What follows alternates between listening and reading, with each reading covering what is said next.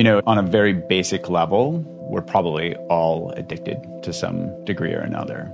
And classically, we used to think of addictions, you know, as these these substances like alcohol and cocaine and heroin and whatnot. But really, I think that's a little narrow of a view. Uh, if we look at this, it can be virtually anything that gets us into trouble. You know, we can have everyday addictions where it's, you know, cell phones and technology and, you know, trying to get our inbox to zero and all these things that are failing propositions. You know, for the last 50 years, the dominant paradigm has been willpower.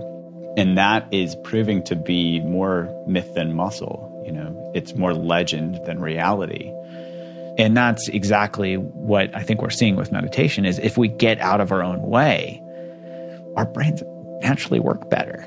And we can really start to totally get in sync with life and get into, you know, almost get into the flow of things. That's one thing I like about mindfulness practice is it basically distills down to pay attention, see what the results of your behavior are, repeat. That's Dr. Jud Brewer. And this is the Rich Roll Podcast.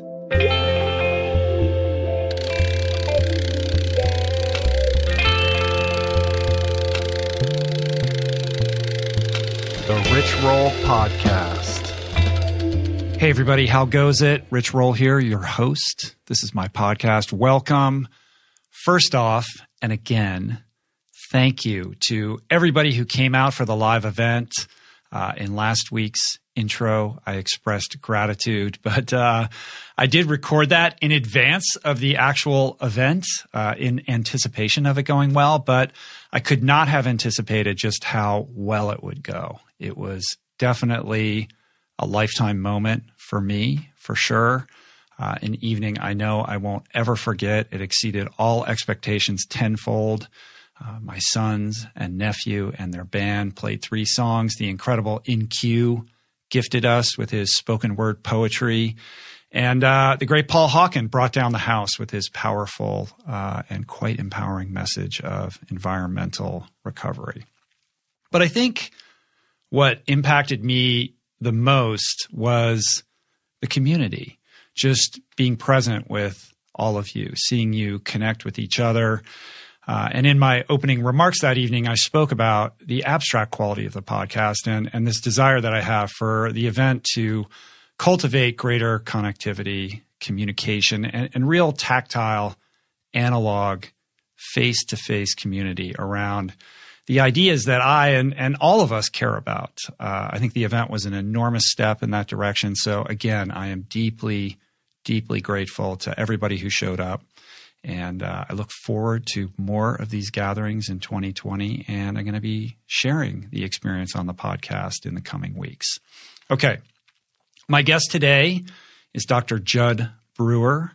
Uh, Jud is a psychiatrist, a neuroscientist, a thought leader, and a scientific researcher in the field of habit change and the science of self mastery. He is the director of research at the Center for Mindfulness and an associate professor in medicine and psychiatry at UMass Medical School. He is also adjunct faculty at Yale University and a research affiliate at MIT. Uh, Jud has published numerous peer reviewed articles and book chapters. He's trained U.S. Olympic coaches, and his work has been featured everywhere on 60 Minutes, on TED. In fact, he has the fourth most viewed TED Talk of 2016, uh, TED Med, TEDx, Time Magazine. Uh, he was listed or enumerated among the top 100 new health discoveries of 2013. Uh, Forbes, BBC, NPR, Business Week, and many, many others. Uh, Jud has many fascinating things to share in the upcoming conversation, uh, including some really compelling thoughts and discoveries in the field of addiction. And that's all coming up in a couple few. But first, today's episode is brought to you by Audible. There is a pretty good chance, I'm willing to venture, that given that you're listening to this podcast, that you already love audio entertainment, audio education. And I don't really need to tell you that it's the best way to hear compelling stories and stay inspired throughout your day, whether you're out on a run, you're commuting, you're cooking, or uh, simply sitting on the couch and enjoying the listen. And hands down, Audible is the best place to find the best selection of audio entertainment. Audible is the world's largest seller and producer of audiobooks and other spoken word entertainment, from bestsellers to business, self improvement, memoirs, and much more. Everything you'll find on Audible is professionally narrated and easily accessed through their convenient app. With Audible, you own your audiobooks. They even have a great listen guarantee, which means if you didn't like your download, you can swap it out. If you dig today's episode, may I suggest extending your edification of Dr. Brewer's world by checking out his audiobook, The Craving Mind, especially if you're struggling with an addiction of any kind, uh, even to your smartphone. Or may I be so bold as to suggest my book, Finding Ultra, if you haven't dialed that one up yet? Uh, yes, I think I will be so bold. Either way, expand your horizons with an essentially unlimited amount of inspiration, storytelling, entertainment, and elucidating education by checking out a 30-day Audible trial, which provides you with your first audiobook plus two Audible originals totally free. Visit audible.com forward slash richroll or text richroll to 500 500. That's A-U-D-I-B-L-E slash richroll or text richroll to 500 500 to get started. We're also brought to you today by Skillshare. What else keeps you inspired and stimulated aside from a great audiobook? Well, learning something new, my friends. And with that, I give you Skillshare, an online learning community with thousands of amazing classes covering dozens of creative and entrepreneurial skills.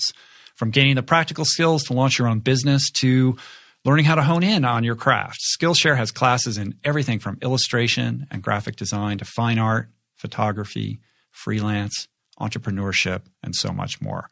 Personally, I'm really enjoying a few of their photography oriented classes. That's a bit of a hobby of mine. And uh, I've got some film editing courses queued up as well.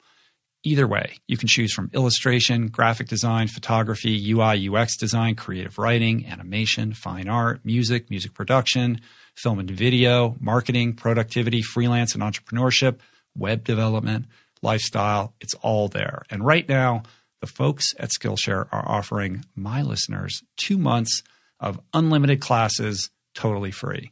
All you got to do is go to Skillshare.com forward slash richroll. That's Skillshare.com forward slash richroll to get two months of unlimited access to thousands of classes for free. Skillshare.com forward slash richroll. And finally, we're brought to you today by ZipRecruiter. Hiring, it's a pain in the butt. It used to be so challenging finding quality candidates, sorting through stacks of resumes and dozens of interviews. It takes up so much time. But, ladies and gentlemen, it's the 21st century. And now there is one place where you can go where hiring is simple, fast, and smart, a place where growing businesses connect to qualified candidates. And that place is ziprecruiter.com slash richroll. ZipRecruiter sends your job to over 100 leading job boards, so no need to create multiple profiles or sort through a whole mess of emails. And they don't stop there. With their powerful matching technology, ZipRecruiter scans thousands of resumes to find people with the right experience and invites them to apply to your job. As applications roll in, ZipRecruiter spotlights the top candidates, so you never miss a great match. ZipRecruiter is so effective that four out of five employers who post get a quality candidate through the site within the first day. And right now, listeners of the show can try ZipRecruiter totally for free at ziprecruiter.com slash richroll. That's ziprecruiter.com slash richroll. Do you know how to spell my name? It's R I C H R O L L. ZipRecruiter is the smartest way to hire. Okay, Dr. Jud.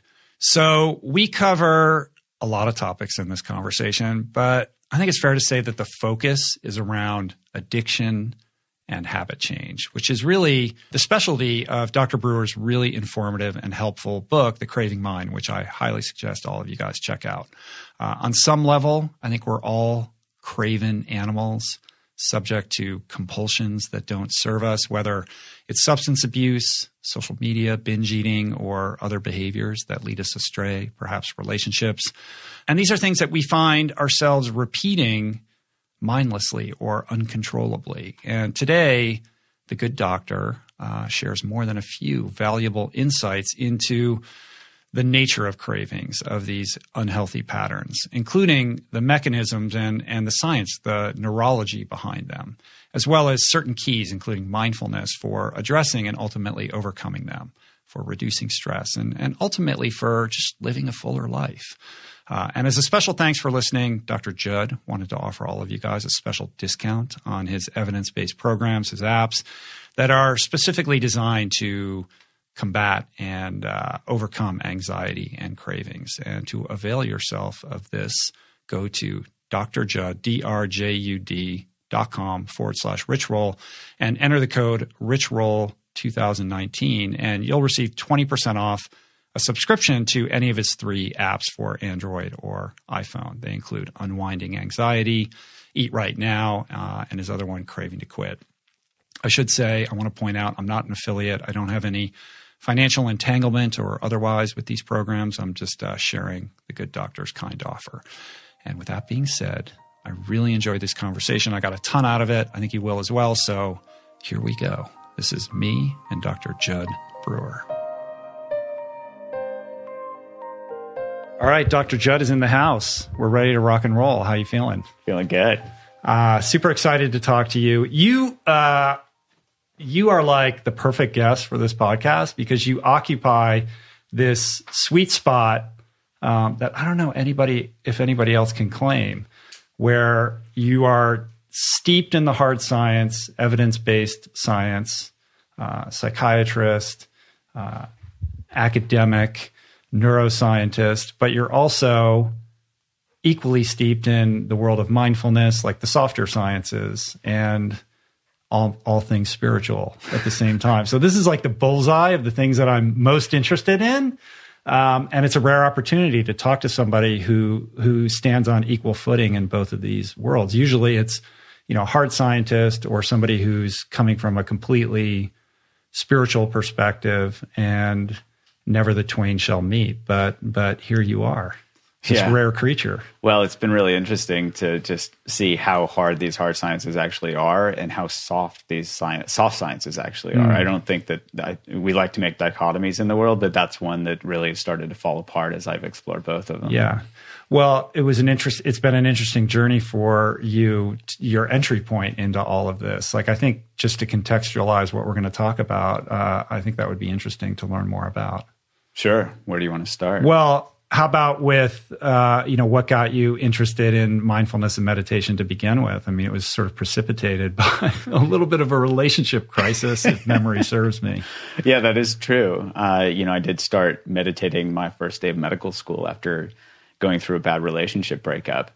But I can look retrospectively on my life and realize, you know, there were a lot of points earlier in my life where I had touched on something that I didn't know what it was, but I knew it was really sweet. Mm. Uh, whether it was, you know, I raced BMX bikes when I was a kid and I played quartet music, you know, as a, a group playing the violin. And there was something about being in a group of four people and making music where just – the world dissolved and we mm-hmm. were we were just the music and i didn't know what that was i just knew that i was some strange kid in high school that would rather play quartets than go out and get drunk you didn't know that at some point in the future all the cool kids would be calling this a flow state i had no yeah. idea and here it is. uh-huh. yeah so i think i touched on it at various points in my life but it really you know took something that I was really devastated by the to kind of precipitate a big change. Mm-hmm. You know, starting medical school is a new start in my life, new point, so it seemed like a good place to try something what I thought was new. Right. Why that though? Other than like, hey, I'm in medical school, like I'll get a prescription to help me sleep better or to calm my nerves. Yeah, I've never really been you know, I'm a psychiatrist. I prescribe mm-hmm. medications, but I've never really been into. I've been pretty careful about putting medications or any types of drugs in my body, mm-hmm. um, and I really felt that um, throughout my life that just really finding good ways to uh, nourish my mind and body were were the better way to go. So you know, I started getting into eating well in, in junior high school, actually, when I was BMX bike racing. Uh-huh. I realized, you know, we'd race these three heats in a race. You know, you'd race a uh, heat and then you'd have to wait and then race another one. Oh, so you were actually competing in BMX. Yeah, yeah. Wow. Yeah. Well, in Indiana, there's not uh-huh. a whole lot else yeah. to do.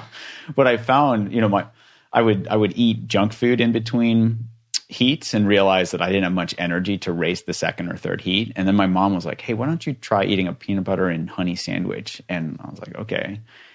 And I realized, you know, wow, I had this sustained energy and, and I could do much better. And so I started getting into that back in high school and I was running mm. cross country and track and, and wrestling and realizing that that health food was actually really helpful for mm-hmm. performance. And so I think that even extended into when I started really getting into loving to explore things scientifically and not wanting to put things that might mess up my brain right. and my body. But psychiatry wasn't the original plan. Not at right? all. No. So how did that evolve? You know, I was so I was doing this MD PhD program where I was studying medicine and I was doing a PhD in immunology. And I got into that because I was really interested in the brain mind interaction. I was really fascinated by like why we get sick when we're stressed out. Uh-huh. And so I was doing all of this mouse work where I'd make, you know, knockout gene, knockout genes in certain cell populations in mice and see what would happen. And that was really interesting. Uh, and at the time, I was just, you know, I was meditating on my own because uh, I was trying to work with my own stress. Yeah and realized that you know by the time I finished that program, you know it was like eight years into it, that I had learned so much more about the mind from my own meditation practice than I had from actually studying mice. That I shifted, you know, I did this major. It was a seismic shift in my career. It was like. Mm. One of those go big or go home moments where it was like, I'm going to try something completely new and study it because nobody had really been studying this stuff at mm. that point. To you know, to the safe you know where, where I could do I could do science. I'd learned to do science, but I really wanted to to see how this mind body connection really worked on a human level. But it was your experience with IBS that kind of tipped the scale, right? Like realizing the, the that there really is this mind body connection that transcends our typical conventional Western medicine protocol and how to treat certain illnesses. Yeah, in college, I had a really severe bout. Like my senior year of college, um, I loved to run, and, and I, I would have to plan my runs around having a bathroom nearby where I could stop, uh-huh. you know, and go to the bathroom if I need to.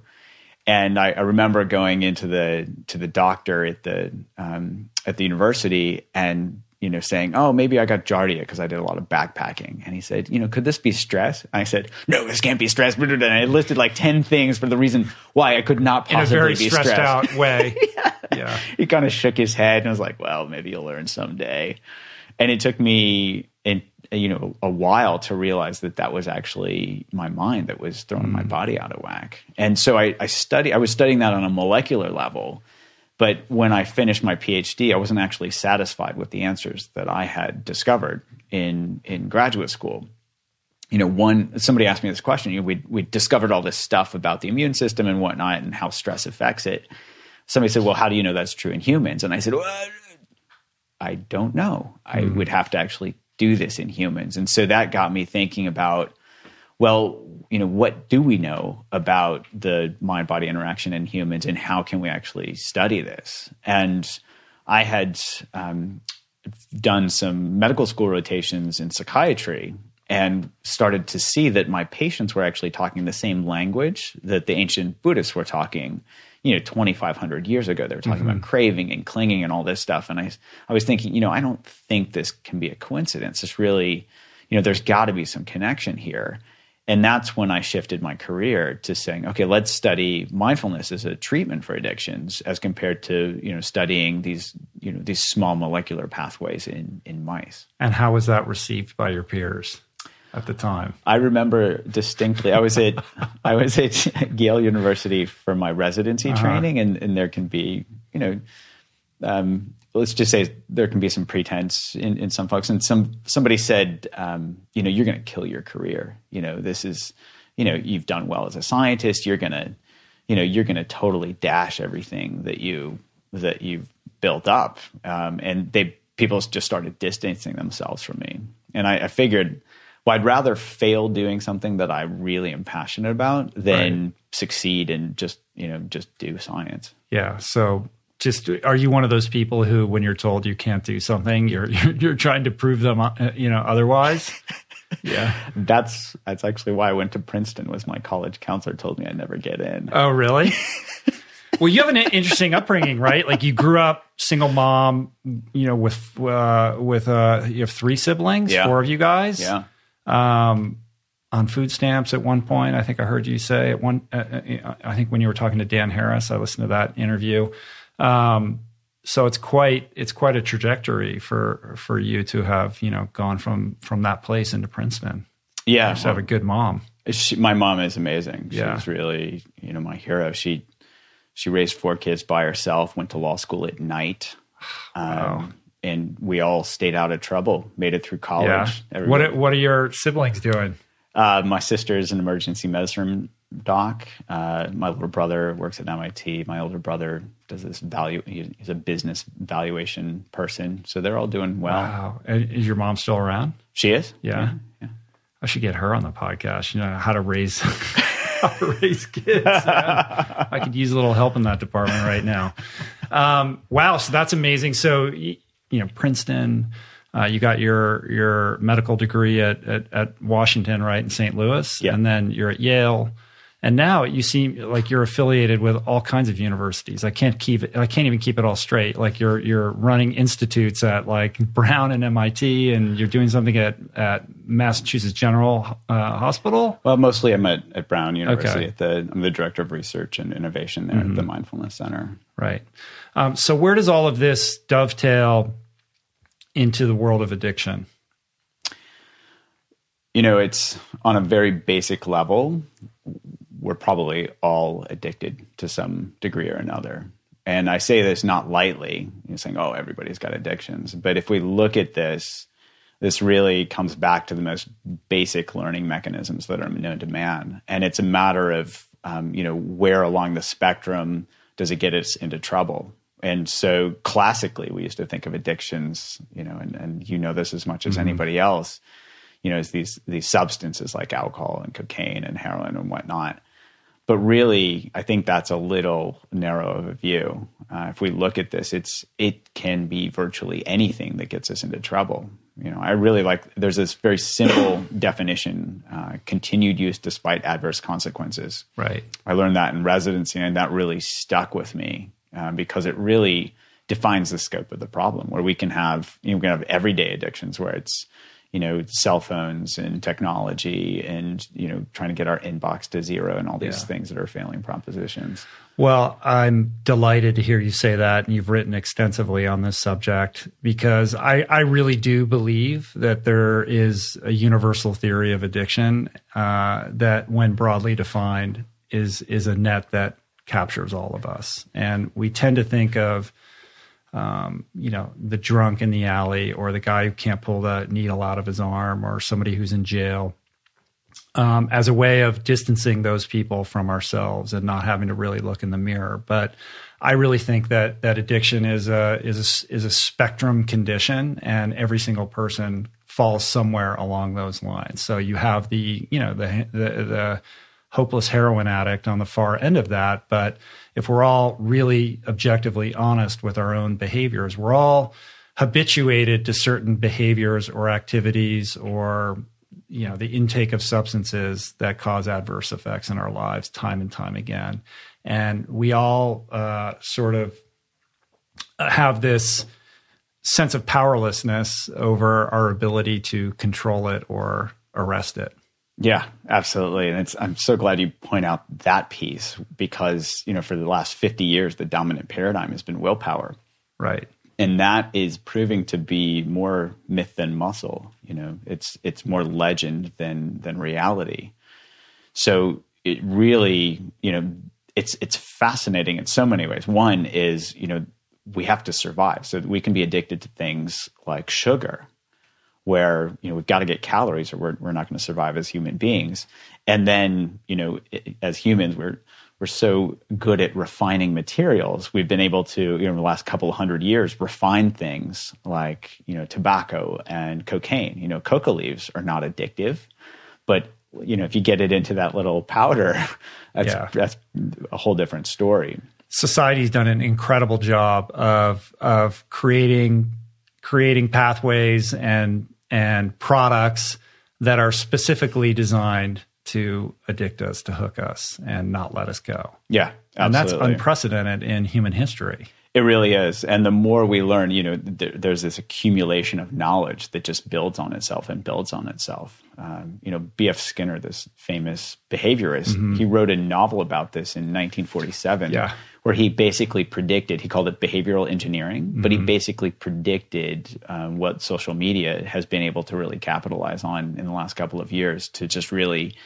get us, get our focus so narrowed that we're, you know, they have to paint look up on crosswalks, mm-hmm. you know, in, in big cities now because people are forgetting the most basic survival things like don't cross the street without looking both ways. uh, the the willpower uh, idea it's it's it's amazing that it perpetuates. Um, I certainly have up close and personal experience um, with trying to master my many addictions through willpower to diminishing ends. And as somebody who has always prided myself on my self will, this has been a confounding, you know, sort of experiment that has taken me to some pretty low depths. So I know firsthand that willpower does not work. Um, I think there's a lot of education that needs to go into the public for them to appreciate the full extent of that. Um, but why doesn't it work?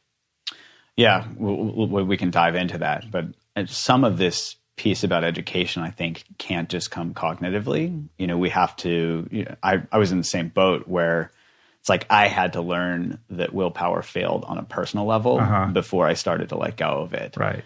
And was fortunate that I was actually studying this stuff at the same time. So instead of saying, well, why doesn't this work? I could actually explore, oh, this is why this doesn't work. And it actually drew me into uh, these avenues of like, well, what actually does work? So if we, if you want to dive in, yeah, let's do that. The way I, you know, the way I think about this is we have this caveman brain, mm-hmm. you know, that was really set up to help us survive. We needed, we needed food, we needed to reproduce, and we needed to avoid danger, you know, the eat and not be eaten thing and it can really be distilled down into a simple process of you need a trigger, a behavior, and a and a reward from a brain perspective. So if you see food, you eat the food, and then your stomach sends this dopamine signal to your brain that says, "Remember what you ate and where you found it." Now, this reward based learning process is set up to help us remember things. So it actually, the dopamine firing is there to help us remember something. It helps lay down a memory. And often dopamine in modern day gets associated with pleasure, but we can dive, we can put a pin in that and talk more about that later. Not really a whole lot of pleasure in that agitated, frenetic, driven, gotta do this. Yeah. Right. And that's that's the drive to use more when we get addicted. So basic learning process, remember where food is, same thing, remember where danger is. You know, you see the saber-tooth tiger, you run away, and then you get to remember, okay, don't go back there, right. or I won't get to do that again. So that process is still at play. It's the strongest learning mechanism, mechanism that's known in science, um, all the way evolutionarily conserved all the way back to the sea slug. So really, really well known process. Yet in modern day, it's still at play, mm-hmm. but we have availability of food 24/7 right? We all have refrigerators. There you can you can find a diner or a restaurant that's open at any time day or night. You can get food delivered anytime day or night. So we don't really need to remember where food is anymore. We just need to remember where our phone is and we can order it. Yet our brain's still saying well hey you know i'm i'm taking up a whole lot of real estate for this learning mechanism so let's use it. And so we start to learn to do things like eat when we're stressed or anxious, not when we're hungry. You know, and this splits out um, hedonic versus homeostatic hunger. You know, the homeostatic hunger is like when we're actually hungry. The hedonic is based on emotions and based on stress and things like that.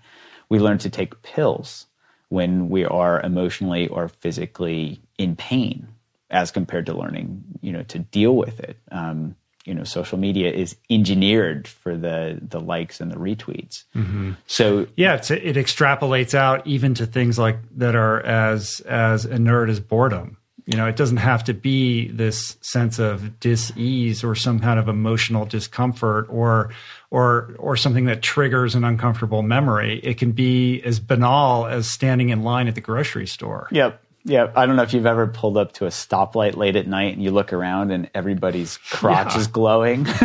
you know, it's like suddenly 30 seconds at a red light is intolerable. Right. Well, we only got there because we've let ourselves get there. And we can say, oh, I'm not going to do that. You know, I'm going to be a good boy and, and willpower my way, way through this. Forget about it. It- Like you said, it, that doesn't work.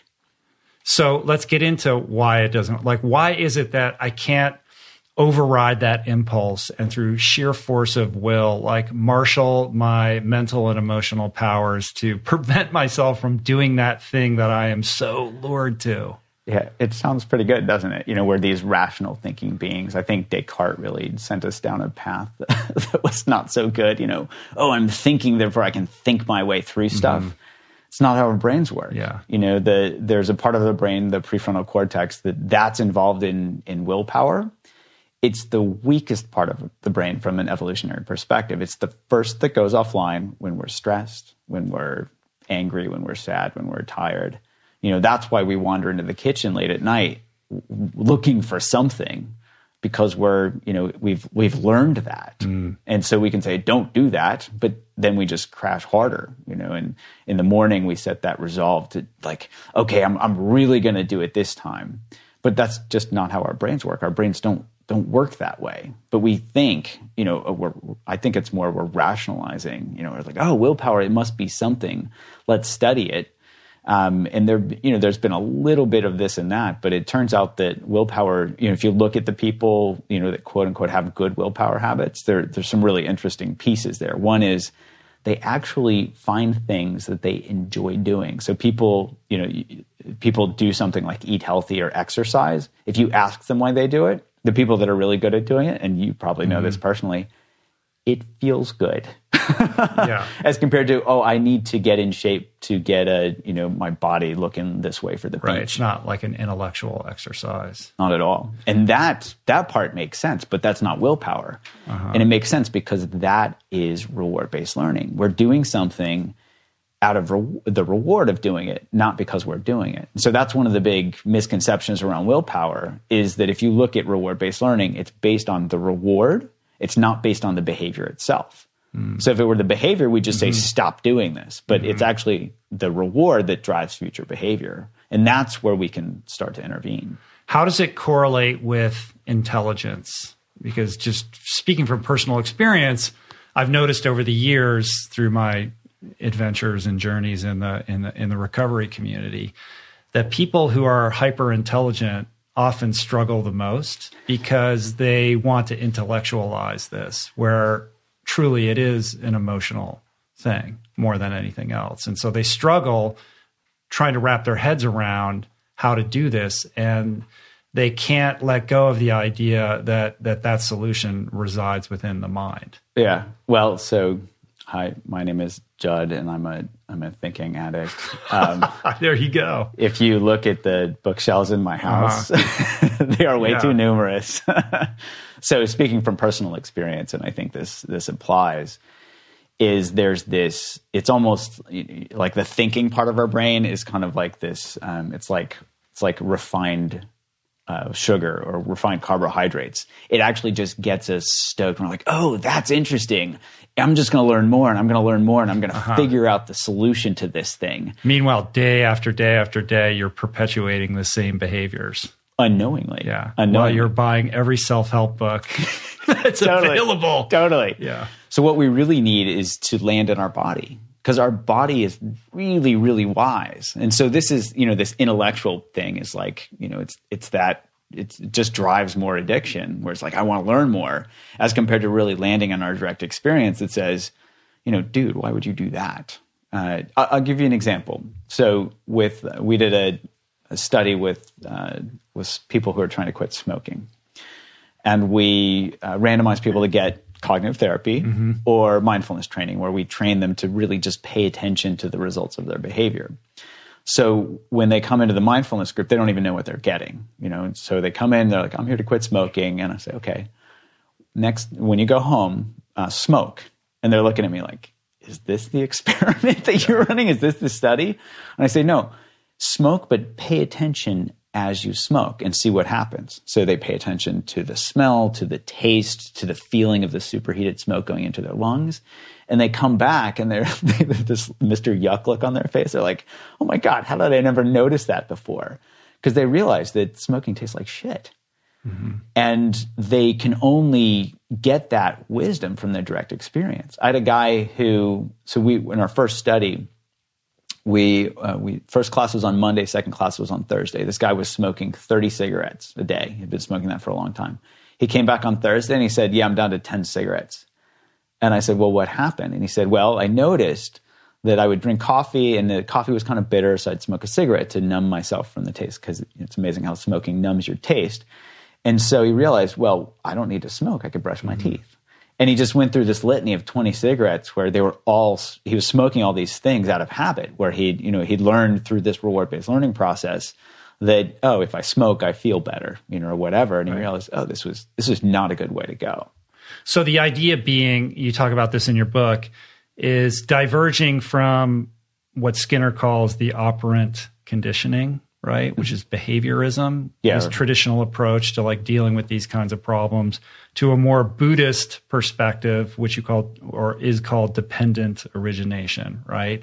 And this involves being present for the experience and rather than getting into judgment, self judgment, to just be curious about what's happening. Yeah, absolutely. And it's interesting. So, one of the one of the first uh, aha moments for us in my you know my research career was when I was looking, I was studying this operant conditioning or positive negative reinforcement, and I was thinking, wait a minute, this sounds way too familiar. And I started looking into this because I'd learned, you know, on a on a retreat or something, I'd learned uh-huh. this this dependent origination piece, and it was it was kind of you know complex or these 12 steps and all this stuff about birth and this and i was like well what is this but when i looked at it and i actually worked with a Pali scholar uh, to really explore this it turns out that dependent origination explains operant conditioning and so the buddhist psychologists had figured this out 2500 years ago before uh-huh. paper was even invented yeah. uh-huh. uh, so they were describing the same process and importantly this process, dependent origination, was what reportedly the Buddha was contemplating on the night of his enlightenment, as in, hey, pay attention, guys, this is kind of important. So, right. really important concept that actually is rediscovered in modern day and drives, you know, and, and, explains a lot of how addictive behavior is formed. And that concept is what distilled down? Basically, that trigger behavior reward. So, uh, you know you see something you eat something and and you you get some reward. Or you you know let's use your boredom example. We're sitting here bored uh, and so our brain says oh why don't you look for cute pictures of puppies on instagram or something like that? And so we look at those cute pictures of puppies and we don't know that we're actually just driving that um, mm-hmm. escape from boredom process. Mm-hmm. so so that's basically it. And it's interesting, uh, in ancient times, they said that the process is perpetuated through ignorance. But in modern day, we call that subjective bias because we become biased based on our previous behaviors. So if I learn to eat, you know, eat some junk food when I'm bored or when I'm sad or when I'm lonely, I'm actually driving that process where I start to navigate my world in that biased manner where I'm, you know, if like any little hint of boredom, my brain says, oh, have something sweet. Mm. Oh, have something sweet. Or mm-hmm. look at cute pictures of puppies on Instagram or whatever. But doesn't that butt up against the countervailing impulse to avoid those things based on past uh, negative experiences with them? Like, how do those those things crack? I mean, I'm just thinking out loud about yeah. like what my own personal interior experience with this kind of thing is, which is um, I'm self-aware enough and I've done enough internal work to to be conscious cognizant when this is when this is happening, right? It's like, okay, yeah, I know I'm pissed off at this guy and I know I'm feeling like not really in my body and I know that this thing is going to fix it and I know I shouldn't do it and then I do it and I have a moment of relief followed by you know an avalanche of, of shame that sends me into a spiral for the next 48 hours only to be repeated again with a sense of powerlessness so that self-awareness as they say in, in, in, you know in, in the secret society of which i am a member self-awareness or, or you know will avail you nothing in this. So I'm interested in how like we have this, you know, this this reward mechanism cycle that you just described. On the other side, I have self awareness that this is occurring in real time, a mm-hmm. powerlessness to stop it without, you know, the the break, you know, as I surmise from from your work is really letting go of trying to control it and just being allow eh, being in the allowing, like being in the present, right? Am I getting that right? I mean, I've thrown a bunch of ideas at you. You are, and there are. makes sense. That's the second step. So the first, and I think you've nailed the critical element, which is awareness. But you, like you're pointing out, awareness doesn't do it by itself, and can actually perpetuate the process. So if we don't know how our minds work, we can't work with them and if we're if we're aware that something is causing us pain we might just spiral into another habit loop of shame and guilt uh-huh. and all that stuff so the first the first piece here is really understanding how our minds work if we can see that we're driven by these processes and we can even entertain the possibility of willpower failing which you know often it's it's tough to say oh it's it's willpower that's failing me as compared to that was a a dead on arrival process. You know, uh-huh. It, all the diet programs want us to think that you know willpower is the way to go, and we're just not strong enough. We need to just sign up for another year, and then maybe we'll get it next yeah. year. Or the, or the extra special behind the velvet rope VIP program that only, and I will do it only for you yeah. Yeah. if you can pay the admission fee. So the first step is really understanding how our minds work. And we've actually uh, shifted our programs to training people in that step first. It's really, you know, it's pretty straightforward. Like we're talking about, there, there no, there's no secret behind the uh-huh. behind the curtain thing to reward based learning. It's like you identify your triggers, you see your habitual behaviors, and then most importantly, you pay attention to the rewards or the results. And so that's where awareness actually can become it, it can become our friend rather than something that just spirals us into shame and, and self doubt. And the key there is again looking at the reward because that's what drives behavior. So for example, with the example of the guy that was smoking, he started to see that smoking actually tasted pretty crappy. And so he, his brain started to recalibrate to see, oh, this isn't that rewarding anymore. And there's actually mm-hmm. this the neuroscience of this has been worked out pretty well. There's a part of the brain called the orbitofrontal cortex. It stores and updates reward value. Uh, I think of this as the BBO part of the brain. It's always looking for that mm-hmm. bigger, better offer. So if we can give our orbitofrontal cortex um, information through awareness, it gets especially if we do it in real time, it gets accurate and updated information. So accurate being is when I smoke a cigarette, is it that rewarding? No, it, I didn't realize it's not that rewarding. We can do the same thing when we overeat. We're like, oh, how does my stomach feel right now? Oh, it, I've got this gut bomb, you know, when I did this, or even eating, you know, I found this with uh, with with gummy worms. Like when I would eat gummy worms, it was like I had to just eat the whole bag yeah. because you know I was just going to be jonesing for those gummy worms, you know, until I just ate it. So I started comparing those to eating blueberries, and blueberries just have this natural sweetness that's just so much better than eating gummy worms. I realized gummy worms taste like petroleum, you know, compared to blueberries. So you came in today with a with a with a box of blueberries that you were eating when you arrived. I'm a big yeah. fan of blueberries. yeah, they're they're great natural energy. So that's the other piece is seeing giving our brains that bigger better offer.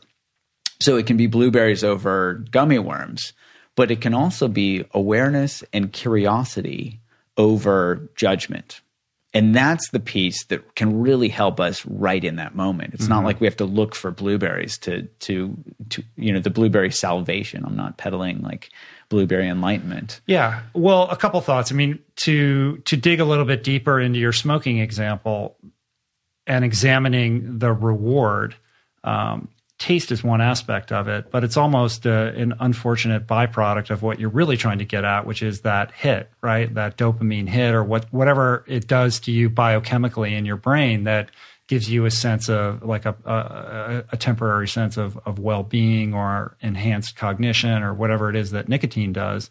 Um, the taste can be something you tolerate in order to get to that other aspect of it, which is the real driver here, is it not? So the driver can be the driver again until we bring awareness to that. So if you look at, um, you know, the especially cravings around any drugs, you know, alcohol, same thing.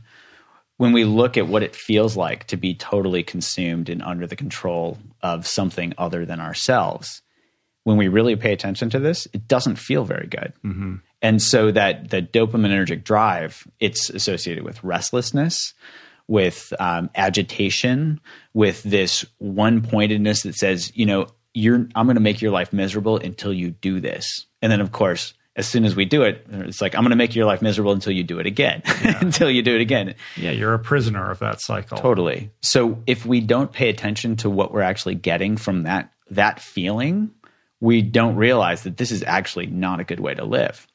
Right. And that that feeling is very contracted. You know, it's it's closed down.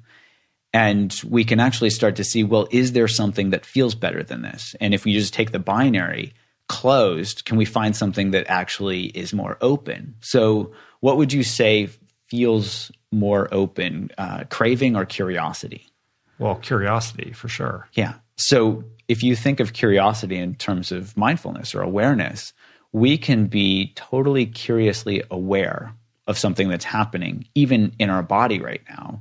And we can flip the valence from this craving that is all consuming, where we're a prisoner to it, to, oh, wow, what does this actually feel like? And paradoxically, we turn toward it. And as we turn toward it, mm-hmm. and it mm-hmm. starts to just kind of dissolve on its own because it's, oh, here's a sensation. Oh, here's a heat. Here's rising. Here's this, this, this. We realize this is this is simply physical sensations that are driving our lives. And then the, you know, the gig is up for the for the dopamine piece. Yeah, it's interesting when you place your attention on what precisely it is, it tends to dissolve over mm-hmm. time. And I've seen this. My wife has terrible migraines over the years. Um, and she she has a practice. She has a variety of practices, but one of them is to just notice it. Like what is it? Like, what is its shape? What is its color? Where exactly does it reside in her awareness? And the more you get closer and closer to the essence of what it is, it moves and it changes and it shifts and it dissipates. And I think I've done the same with cravings as they arise. Okay, what does this look like? Where, what is the nature of it? What is the texture of it? And the more specific you can get, it tends to lose its pull and its power. Totally. Totally. So that awareness helps us awaken to these physical sensations that we formerly thought were us, but are actually just physical sensations and thoughts. And we've had people, you know, be able to work with panic attacks and realize, oh, these are thoughts and these are body sensations and be able to ride out full blown panic attacks this way. Mm. So that's, you know, the theory seems to be working pretty well.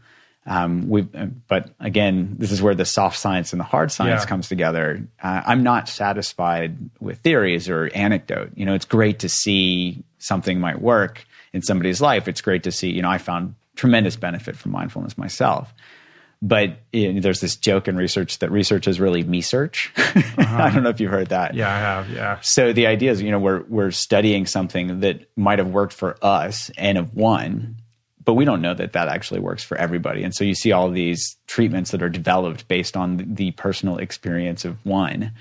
So I really wanted to see, you know, does this stuff actually stack up? You know, I I had pretty good results in my in my addiction clinic, but we started doing research, and we we our first study was actually with alcohol and cocaine dependence, mm-hmm. and we found that mindfulness is mindfulness training was as good as gold standard treatment, cognitive therapy in this case, mm-hmm. for for alcohol and, and, cocaine use disorders.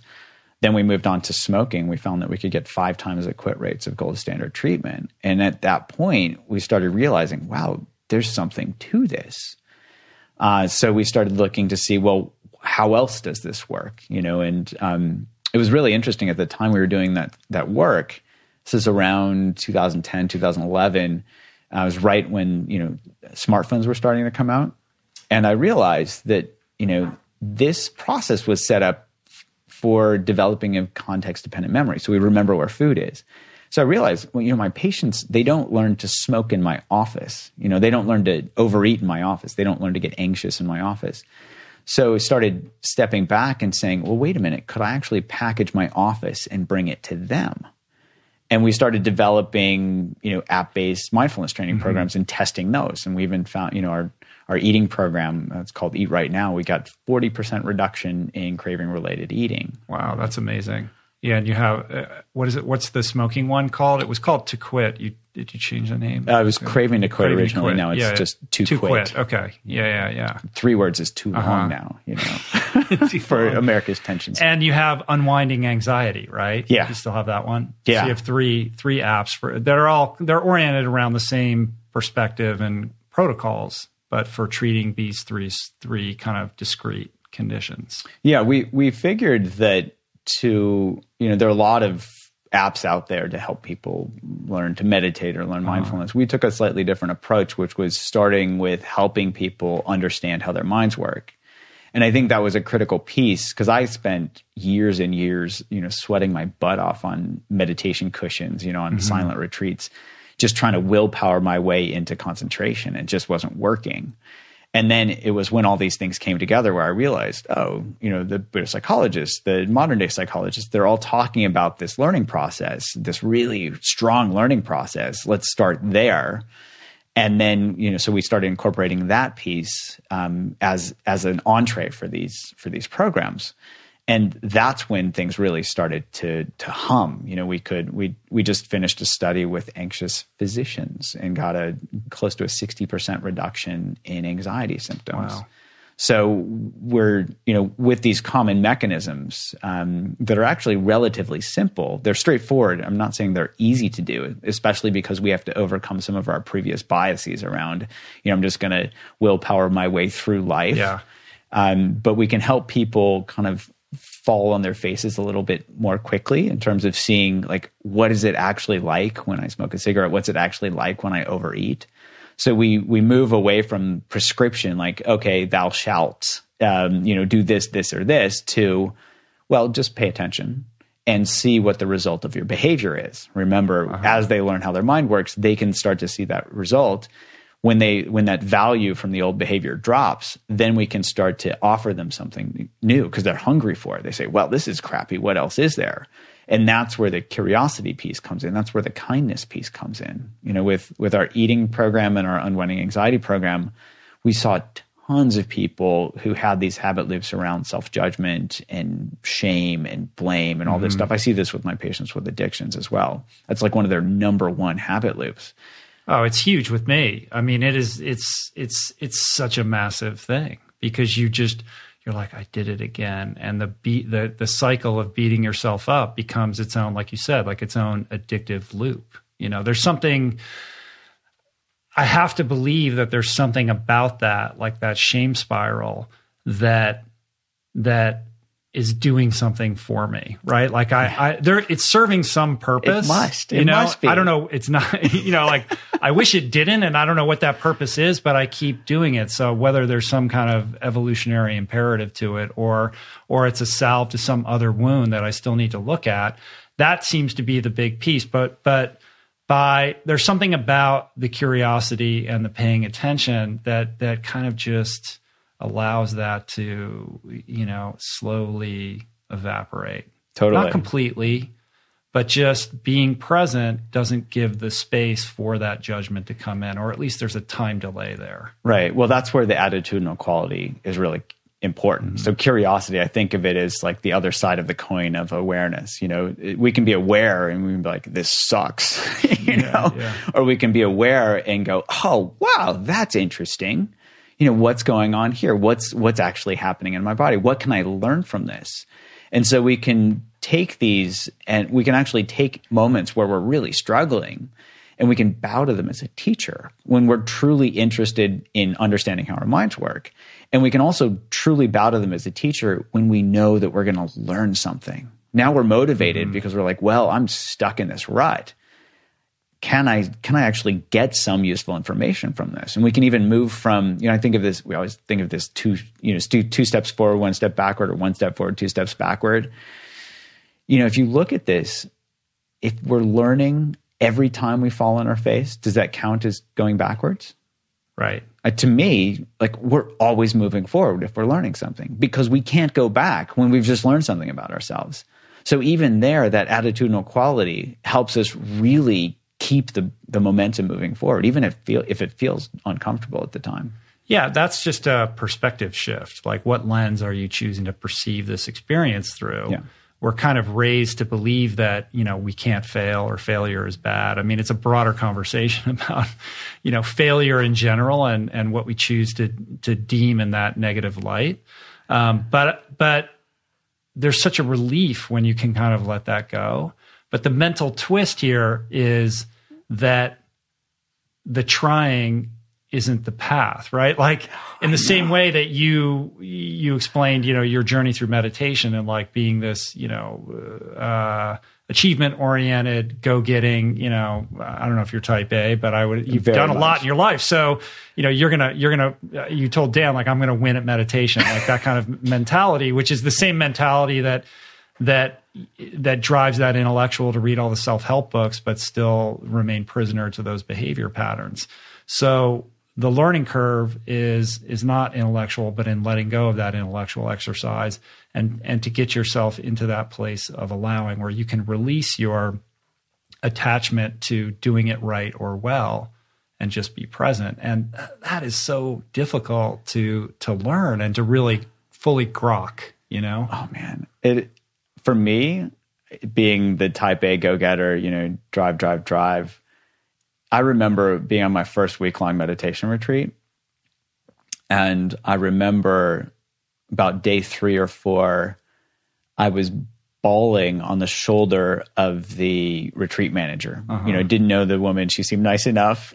She lended her shoulder, and I just, I was, it was a river of tears because I, you know, I was like, I, I, I made it into Princeton. I got into medical school, and I can't pay attention to my breath. What is going on here? And I was just, I was done. You know, I was totally at my wits' end and she she like a, she ended up be, becoming my teacher for about 10 years she, she ended up being this this, this amazingly wise teacher uh, but i you know i'd been trying to willpower my way through everything and i figured i well paying attention to your breath that can't be that hard it was the hardest thing that i what did she say done. to you? Did she drop some kind of yoda like wisdom on you? Suffer you must. Yeah.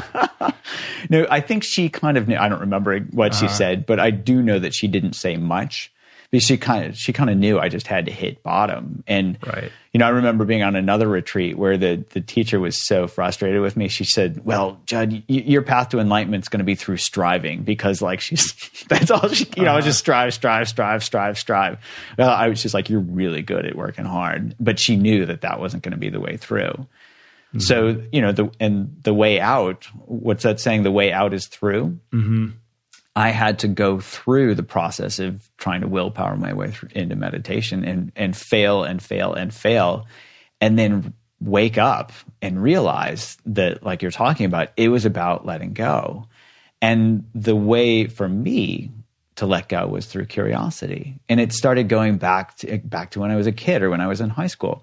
Like I was totally fascinated by stuff. I just wanted to see how stuff worked. And so I would learn naturally through simply being curious. And I mm-hmm. realized I could actually be curious here too. And it totally flipped my entire meditation practice. I could go from, you know, like sweating through t-shirts trying to meditate to you know I, I i learned that if you pay attention to the process and look you know it's actually a, in a causal chain that i could i could be one pointed for several hours without any effort at all. And that was two breakthroughs for me, one no more effort. I realized that that is not the way to go. And two that it really is about just bringing these conditions together and everything will come together on its own. Reframing this as curiosity is is is pretty compelling because linguistics are important. And when you frame it as letting go or surrender that just you know gets a type a person's cockles. Up. it's like i'm not gonna I'm, i don't surrender you know i don't let go. You know it's like that's not gonna happen. You know i had to be so beaten down before you know i was even willing to entertain that what i was trying to do was not gonna work. Um, but just by kind of tabling those two words and replacing them with curiosity is a much less threatening and inviting way of approaching all of this Well, curiosity itself is rewarding. And so it actually hacks that same system of, you know, if we're if we're addicted to our cell phones, we can get curious about, you know, what do I get from this? Mm-hmm. I remember there was a uh, just one example. One of the resident physicians that was that was training with me, um, she was in her last year of residency, and she she came in as a skeptic, which is the best type of person to come in. Like, what is this crap? you uh-huh, know, what, right. and how you you actually help people with addictions? Are you crazy? So she was, you know, she was using one of our apps. I don't know if it was our Craving to Quit or our Eat Right Now program, and in reading my book, and she woke up to the point where she had two relatively small kids and was standing at out away from the dining table like on a Saturday night her two kids were eating dinner and she was away from the table checking her news feed and she had to have that moment where she woke up and she's like whoa how did it get to this to the eh, to realize that that she was under that spell and that's when she got really curious she's like oh wow. And she totally mm-hmm. got into it. Um, had a, you know, she, mm-hmm. She, had lost weight. She did, you know, a bunch of things um, that were kind of just as a byproduct of her starting to realize her own habit patterns and and wake up. Right. As somebody who's who's made a lot of headway in terms of of solidifying or hardening these soft sciences, I want to talk about what is actually going on in the brain, mm. like the neurology, the, the the neuroscience of it all, because it's super interesting um, how you talk about these different areas of the brain and how they get activated and what activates them, and how we can uh, adopt certain practices to uh, you know to get us on on a better track. Well, I was I've been fortunate enough to retool when I was in residency to learn neuroimaging and neuroscience. And so I've been doing uh, almost two decades now, we've been studying the neuroscience behind how this stuff works. And my lab starts with finding a behavioral uh, outcome. You know, mm-hmm. we need to make sure that something's actually working. So, you know, when we got five times the quit rates of smoking, um, it was smoking with our with our mindfulness training, mm-hmm. we're saying, okay, there was something there's something worth looking at here. So we started by looking, just looking at experienced versus novice meditators to see what was happening in their brains. And we wanted to find if there were common mechanisms that were different with folks that had practiced for a while versus not. So we actually looked across a bunch of different types of meditation. We had people pay attention to their breath, you know, as a standard concentration practice. We have them do this thing called loving kindness, yeah. which to me was like the ooeyest, gooeyest, nastiest, uh-huh. softiest. Uh-huh. You know, I was like, oh, I'm never going to do that. um, and I'll I'll tell you a little bit how it's a great practice. It, it, it maybe it has a branding problem, but it it, it may. Uh, and in myself, well, I maybe t- give you a little story about how I actually mm-hmm. learned that in a bit. Uh, but it probably does have a branding problem. Um, and then we had people do this practice called choiceless awareness, where they would just pay attention to whatever was coming into their awareness. It could be sounds, it could be things they were seeing, could be things they were feeling, things they were thinking. And we found that there was a brain network called the default mode network that was deactivated in experienced versus novice meditators. Now, this was a surprise to me. I think I learned the most when my hypotheses are disproven, you know, because I was thinking, well, I'm working pretty damn hard. So mm-hmm. there's got to be some brain region that's getting activated, that's lighting up when I'm meditating, because, you know, my sphincter tone is certainly pretty, pretty high right now.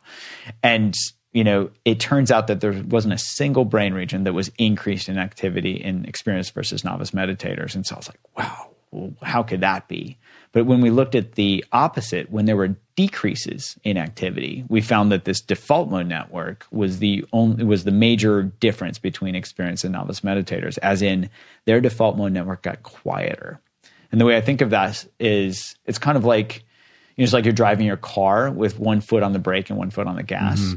If you take your foot off the brake, you don't have to add more energy into the system, but mm-hmm. the car drives faster and that's exactly what I think we're seeing with meditation is if we get out of our own way, our brains naturally work better, mm-hmm. you know, and, and we can really start to totally get in sync with life and get into, you know, almost get into the flow of things, so to mm. speak.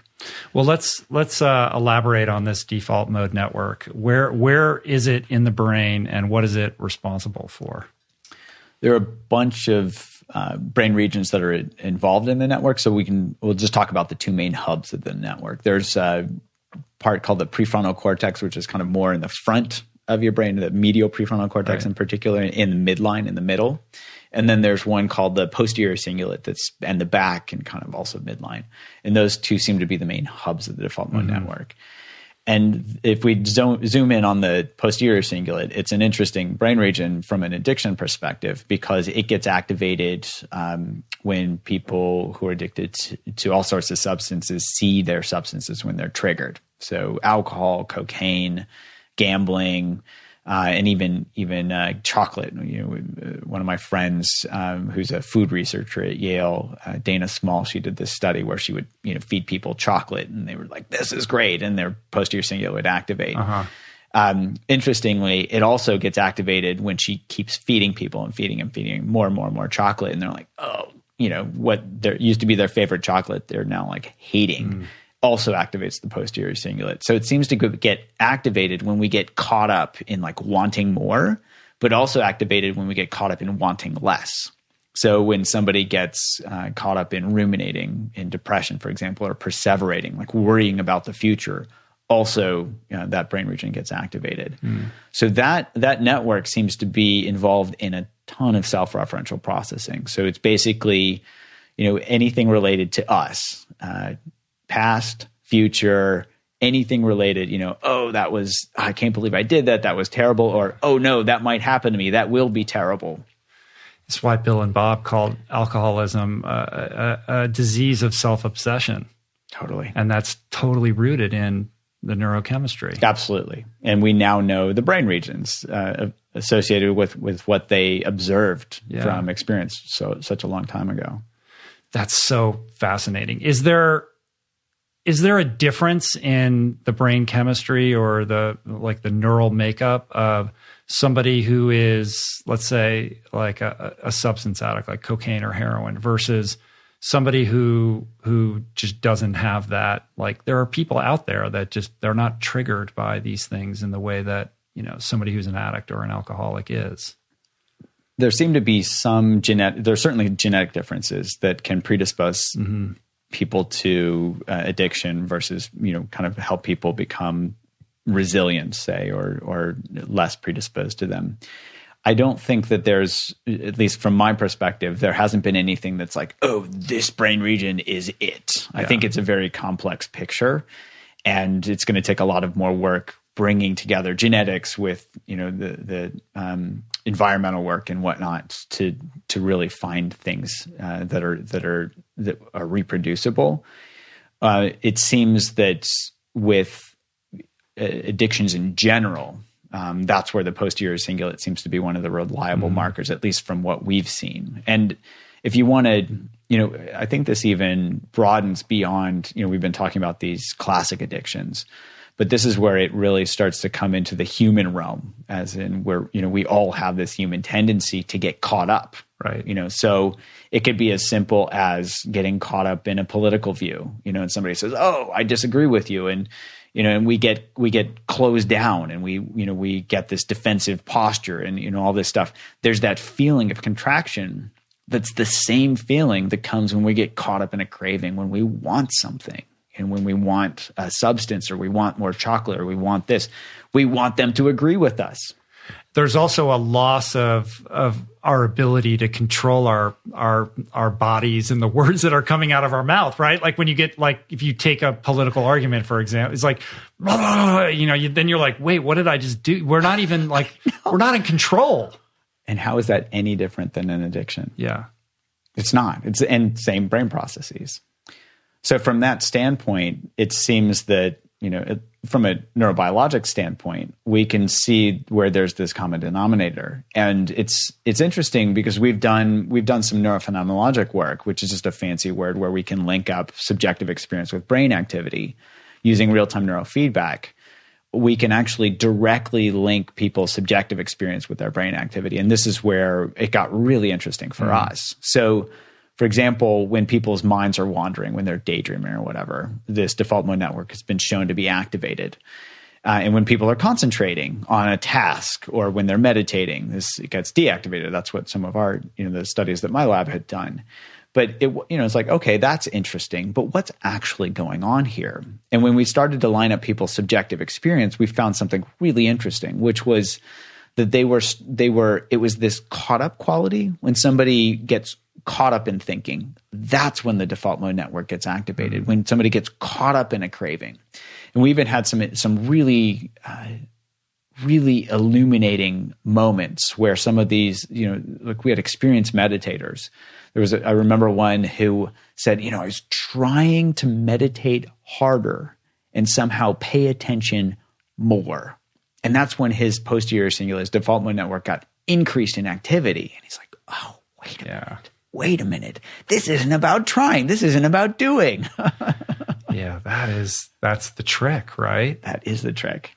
Um, this self obsession, these, these stories that we loop in our minds about who we are, uh, the rehashing of the past, the you know foreshadowing of the future, the catastrophizing, all of these things that we get caught up in this is where it resides. Yes. And so essentially what you're saying is meditation, these mindfulness practices are a way of like lowering the volume on that. Mm-hmm. And in turn, allowing us to then be more focused, more present, more curious, and less um, self judging. Absolutely. Is that the most element, elementary way of explaining this? Yeah, yeah, and, and Jon Kabat-Zinn, who really led the way in a lot of uh, the scientific, mm-hmm. you know, beginning of the scientific studies around mindfulness, talks about you know we are human doings rather than human beings and that lines up very nicely with this whole process. You know we can we get stuck in the habit loop of doing. If i just do something if i'm anxious i'll just do something to make it go away. If i'm you know i'm going to do something to make myself lose weight.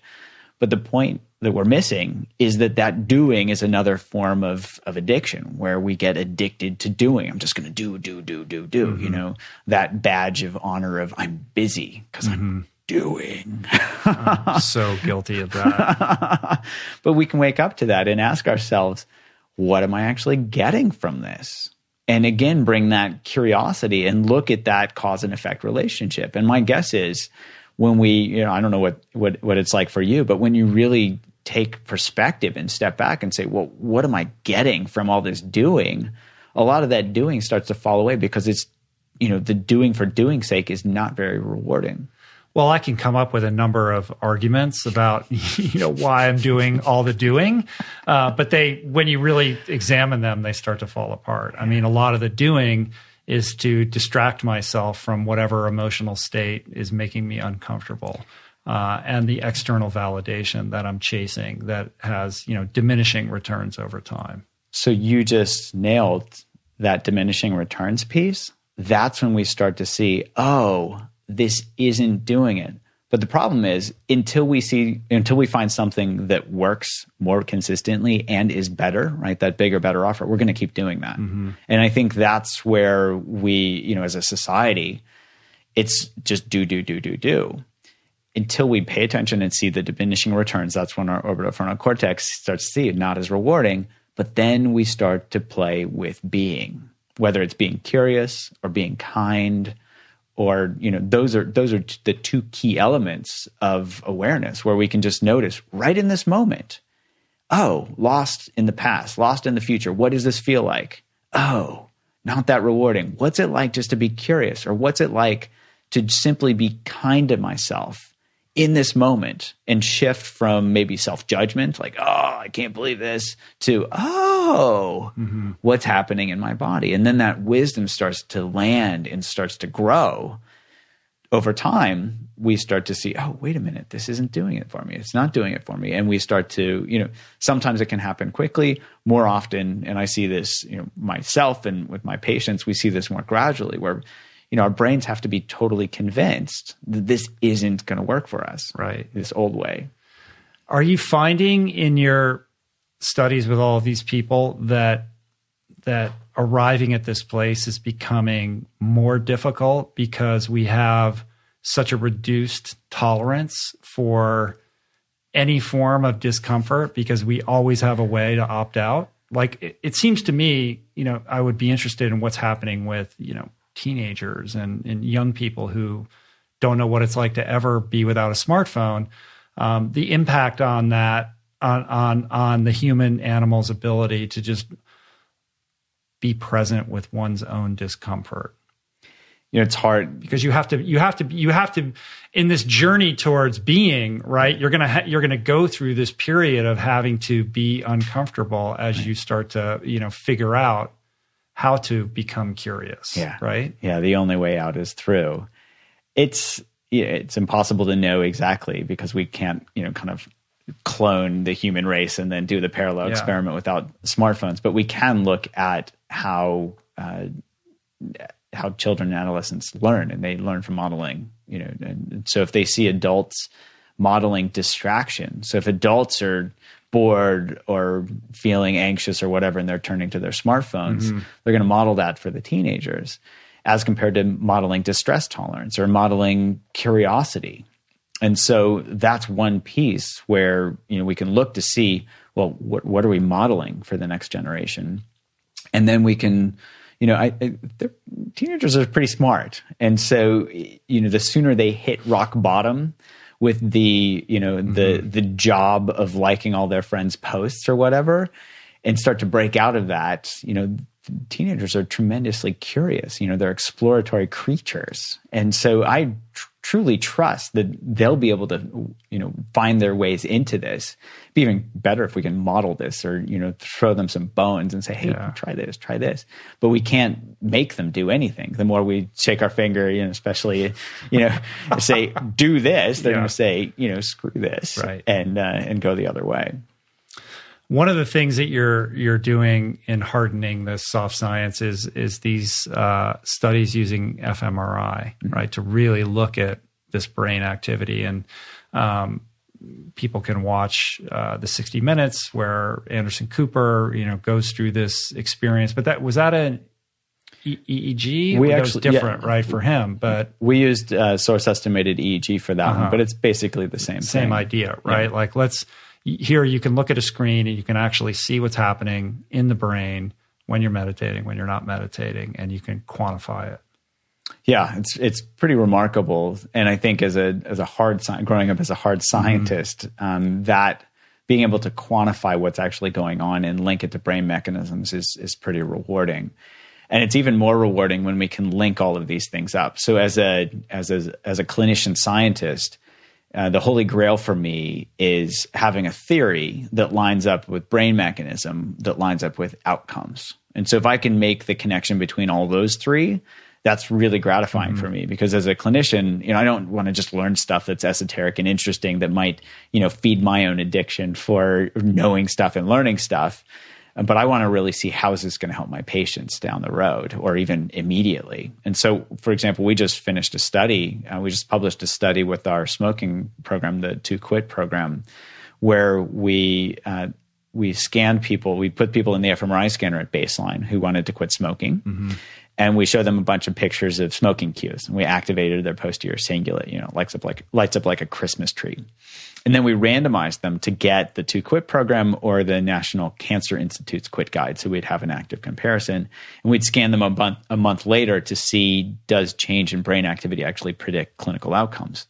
And lo and behold, we found that there was a significant correlation between a reduction in posterior cingulate activity and a reduction in cigarettes only in the To Quit program. Mm-hmm. We hmm. actually found a really strong correlation even with the number of modules they completed, even though both groups completed the same number of modules. So here we're seeing a dose dependent relationship and a brain specific effect that was affecting clinical outcomes based on a theory that we had been exploring, you know, over a decade before. And so we're able to link up this theory, oh, mindfulness helps us be with our cravings and not act on them it affects this brain network that gets activated when we're caught up in craving and gets deactivated with you know with with mindfulness and here it's affecting clinical outcomes.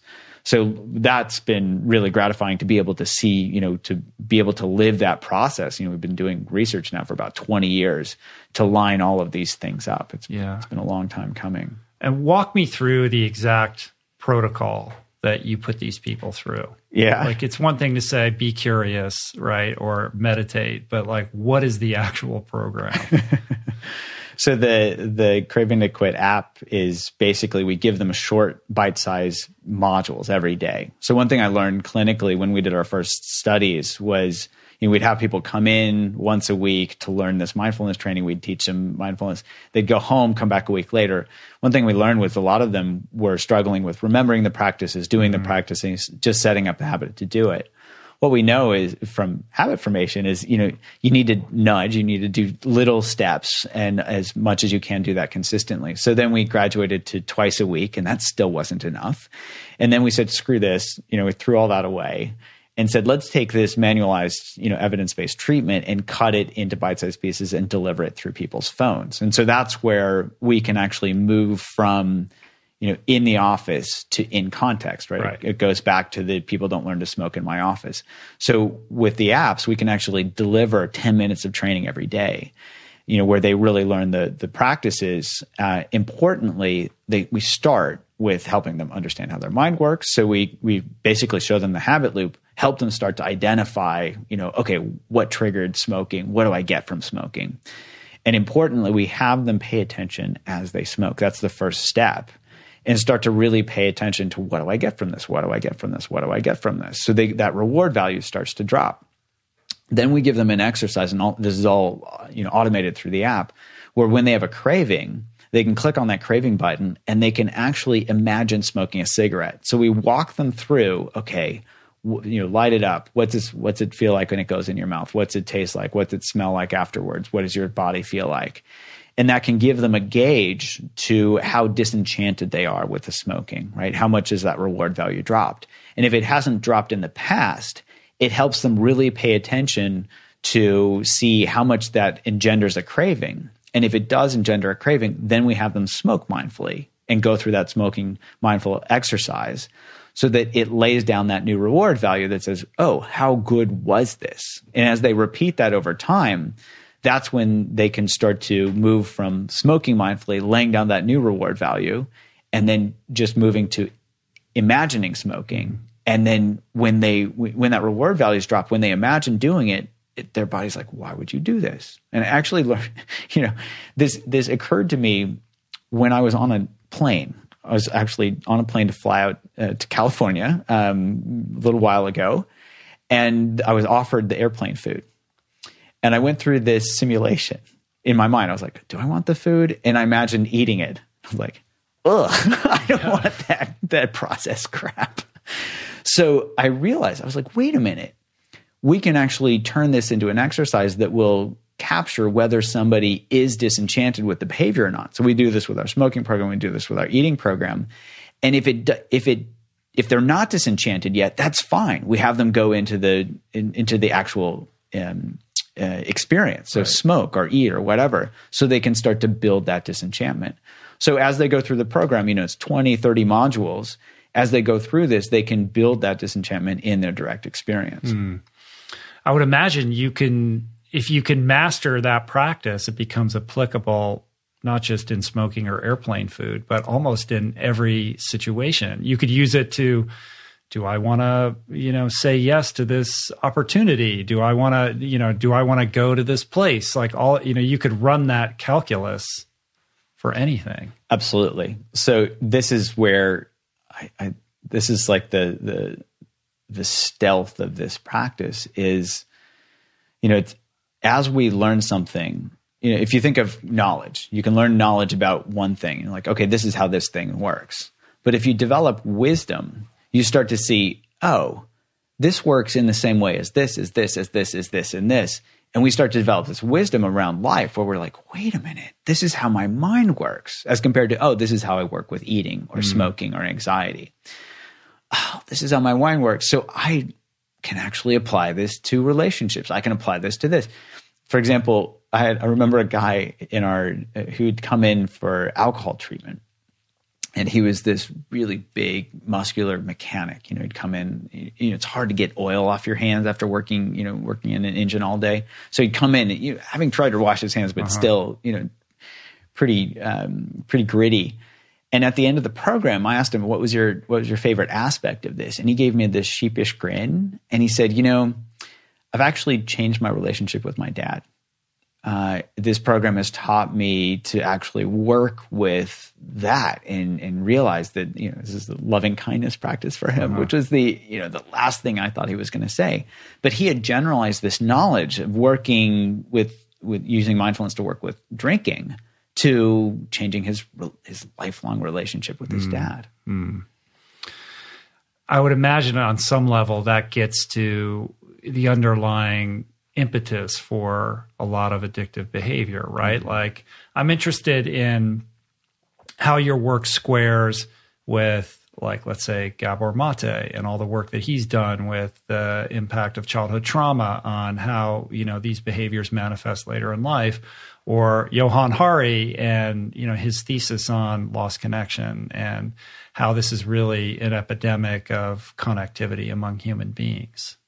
I think it squares perfectly. I was just to spend some time with Gabor a little while ago at a conference, and we were really, you know, just it's so fun to geek out uh-huh. about this stuff with with with folks, and it, it's totally it makes complete sense if you think about you know a loss of connection, for example. So the we feel lonely. That's the trigger. We do something like drink or drug, and then we we basically numb ourselves to that pain. So it's this temporizing measure. We get this brief relief and then we have to repeat it. So if we never get at the heart of the issue, which is, you know, a disconnection, we're always going to feed it in a way that's not yeah. healthy. So here we can, you know, mindfulness can help us wake up to those patterns and see how we're feeding these in very unhealthy ways and then open ourselves to finding different ways of relating. Right smoking, drinking, you know, these behaviors are are we do them because they work, right? Like they're in, they in certain respects work. they work. Well, they work until they stop working. They're serving a, they're serving it. They're filling a need. They're serving a purpose yeah. that works for a period of time until it, until it stops working. Um, but they're not necessarily the problem. They're like the solution to the problem. They're like a band aid on the problem, right? So you're dealing with this condition at the behavioral tip of the spear. Someone like Gabor is dealing with this at its at its inception point, right, where mm-hmm. it, where it begins, and and so I would imagine that on some level, a combination of these two approaches would be, you know, the comprehensive solution here. Like you got to deal with, you got to quit smoking, you got to break this cycle of craving, you got to create you know strategies and behavior patterns for for managing this but you still also have to go to the root of like what is you know creating this level of discomfort to begin with or what is it that continues to creep up and makes you feel uncomfortable in your own skin driving that need to escape out of whatever it is you're experiencing through whatever behavior that you're choosing?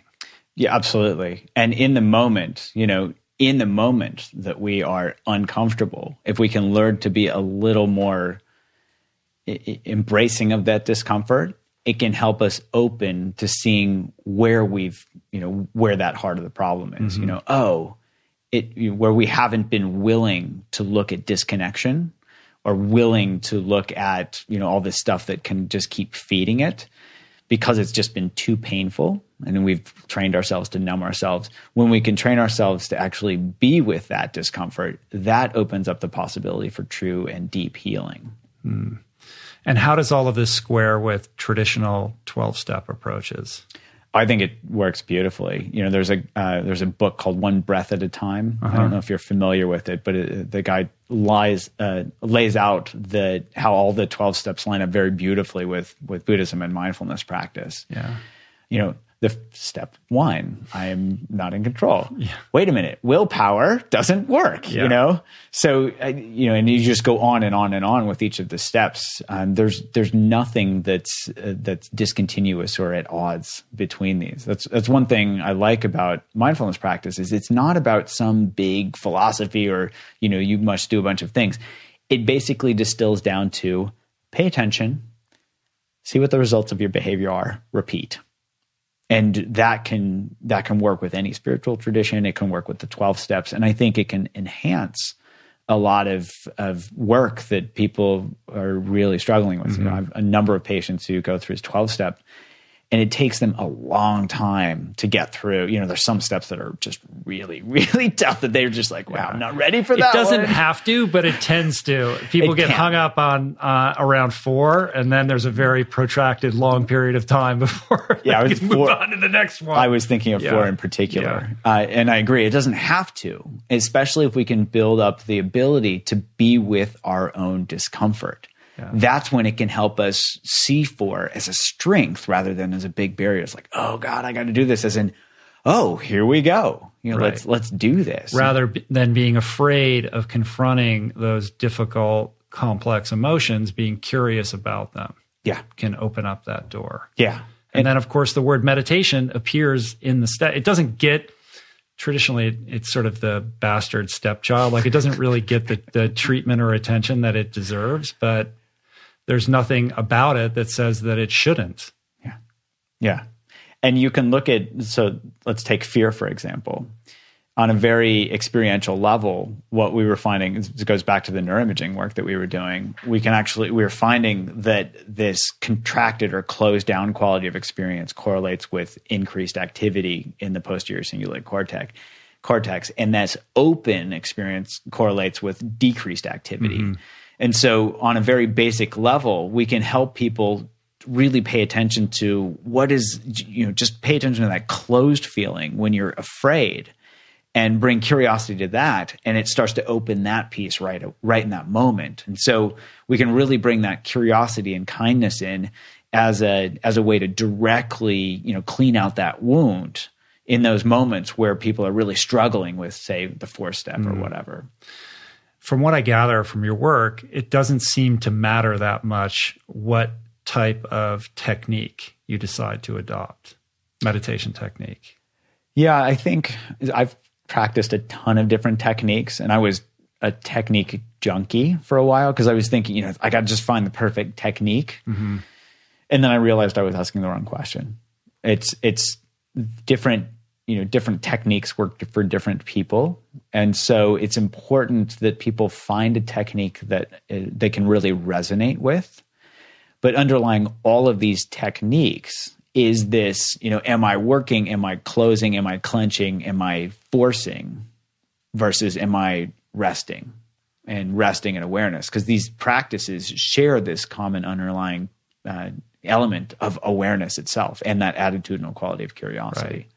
So there's no evidence from like an fMRI perspective, like oh, loving kindness does this and vipassana does this, and you know, it, it, can you can you calibrate them in that way? When we've looked, we found that you know, loving kindness, that vipassana, that uh, concentration practices, that a bunch of different. We've even um, done some pilot work with with Christian contemplative practice.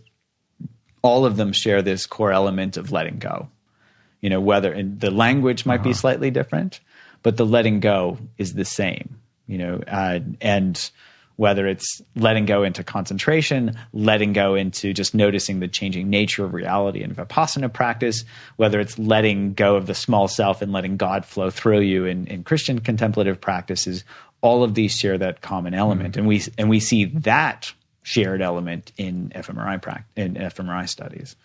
What is the most counterintuitive or surprising thing that you've learned about this whole world as a neuroscientist? Like, did you go? I would imagine you go in, you're trying to be objective, but you're like, oh, th- this is going to prove this, right? And then you discover, oh my God, it's not that way at all. Yeah, I mean, how much time do we have? Yeah. There were we we there were a lot of things that were really surprising. I think the biggest surprise was the one I mentioned earlier around this wasn't about doing something. This was about um, really just relaxing and letting letting things be. And there was a you know actually even more surprising to me was the what I'm going to describe as the causal nature mm-hmm. of these things. And this related to everything from concentration practice to even finding flow where there there's this you know the buddhists they have they're famous for lists you know yeah for this very good at that ate this whatever so they have this list of these seven factors of awakening sounds like a pretty important list uh-huh. to pay uh-huh. attention to I'd always tried to memorize the list and could never do it. You know, it's these seven things I can't remember. I can only learn things if I understand why they work. And it, it, it, it occurred to me after years, probably my teachers beating their heads against the wall, like, come on, Jud, come on, um, that this list goes in a particular order.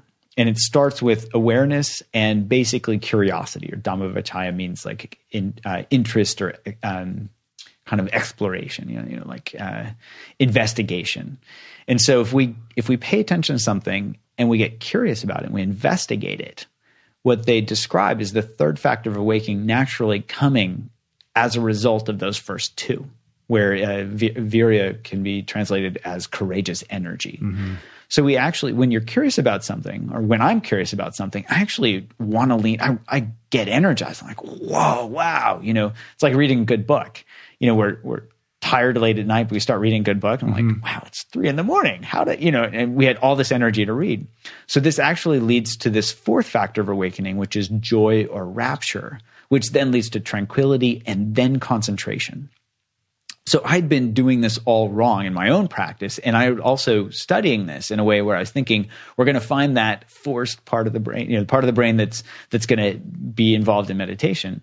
Well, there wasn't anything, as I mentioned, that, that get, got increased in activity, but it was that decrease when we started to let go that concentration naturally emerges out of these conditions. When we're interested in something and we're curious and we're not forcing anything, when we're tranquil, it actually is rewarding in itself. And so it's a feed forward mechanism that, that lines up beautifully with operant conditioning. Remember, reward, it right. feels good that the concentration naturally emerges out of these conditions and in itself feels pretty good. So when we're totally concentrated on something, it feels great.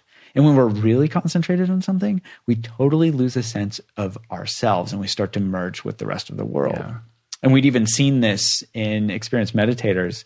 There's this concept, um, you know it well, I'm sure, flow. Yes. Uh, you know, Mihaly Csikszentmihalyi. Uh-huh talks about flow in terms of it being selfless, it's effortless, it's joyful. You know, it's like this this thing that a lot of uh, extreme athletes really they'll die for, and I've seen this a lot. You know, there's some great books written about how dangerous it is for for athletes to get addicted to flow. We had people in our fMRI scanner getting into flow and reporting on it. We got a snapshot of their brains as their posterior cingulate took a nosedive in activity, just totally quieted down as they were merging with their environment. And if you think about it, this this closed quality of experience, this contracted quality, is a marker of okay, I'm here and the rest of the world is out there. Yeah. Well, when that starts expanding, when you take that to infinity, where do you end and where does the rest of the world begin?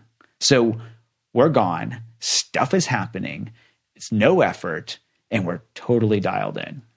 And in the brain, all of those levels are going. There's no area of the brain that's being activated by this. It's just a devolumization of every component of well, the mind. I would I would say we only looked specifically at the posterior cingulate cortex. Uh-huh. So these self-referential brain regions are getting really the part quiet. That's responsible for that. Yeah. Um, given that's super interesting. So given that addiction is a is a condition of self-obsession um, the more self obsessed we are, the more uh, imprisoned we are by these cravings and desires. Yeah. The dissolution of that um, that myth of of differentiation um, is part of the path that walks you towards this solution. So I'm curious about your thoughts when it comes to things like ayahuasca and psychedelics like these are substances that that dissolve that illusion of self and mm-hmm. allow us to like merge with this you know to be at one with the universe. And there's certainly interesting studies that are that are happening right now in this field. Like where, where where's your head with all, all of that?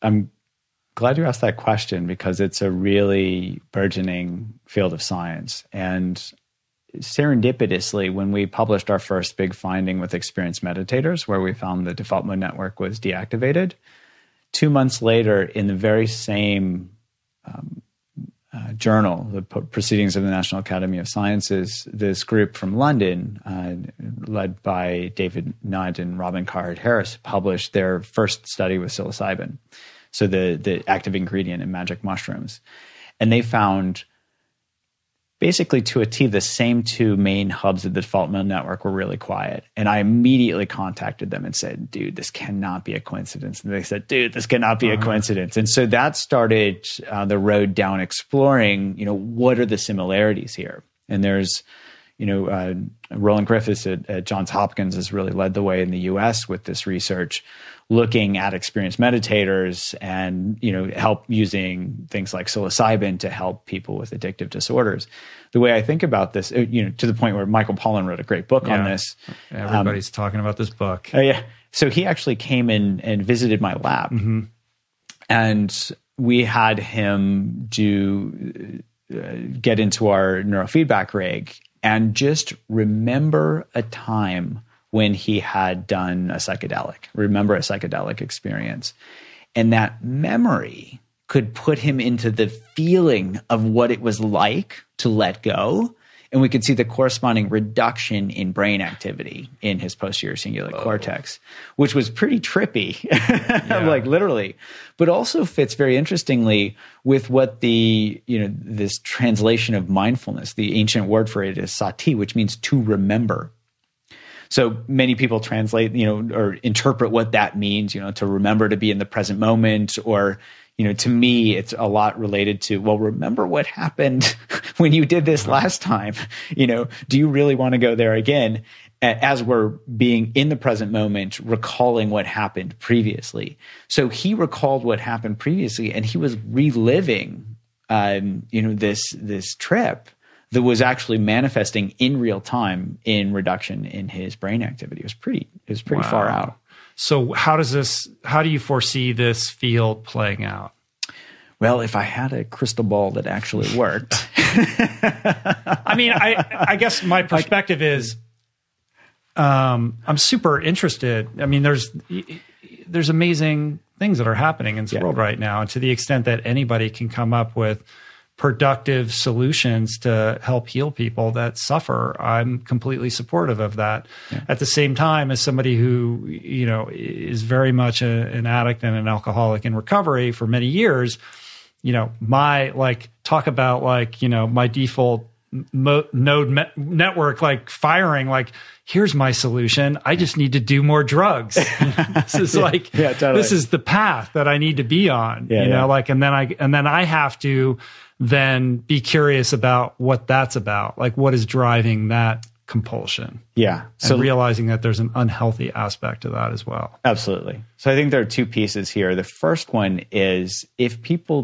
don't know or can't remember what it's like to let go, it's pretty challenging to train them in that direction. Mm-hmm. So we can use things like neurofeedback, we can use things like our app-based mindfulness training programs to help people really see what it's like to get contracted and then identify moments when they're letting go.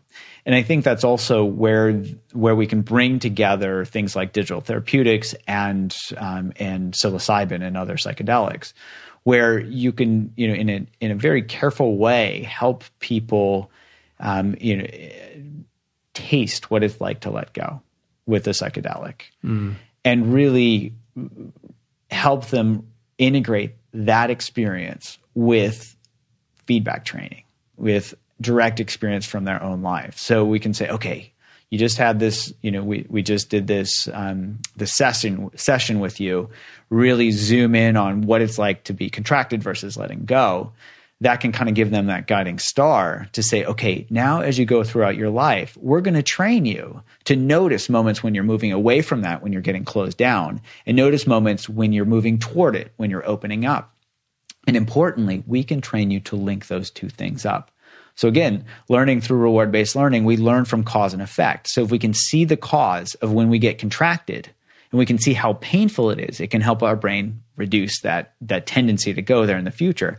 If we can notice moments when we're open, like when we're curious or when we're kind, we can see, really pay attention and say, Oh, what was that like? and our brain says, "Oh, that was good. I want to do that again." Mm-hmm. So we can really pair the two, give them that guiding star where they might not have had that before or remembered it, and then train them to do that over and over and over. Yeah.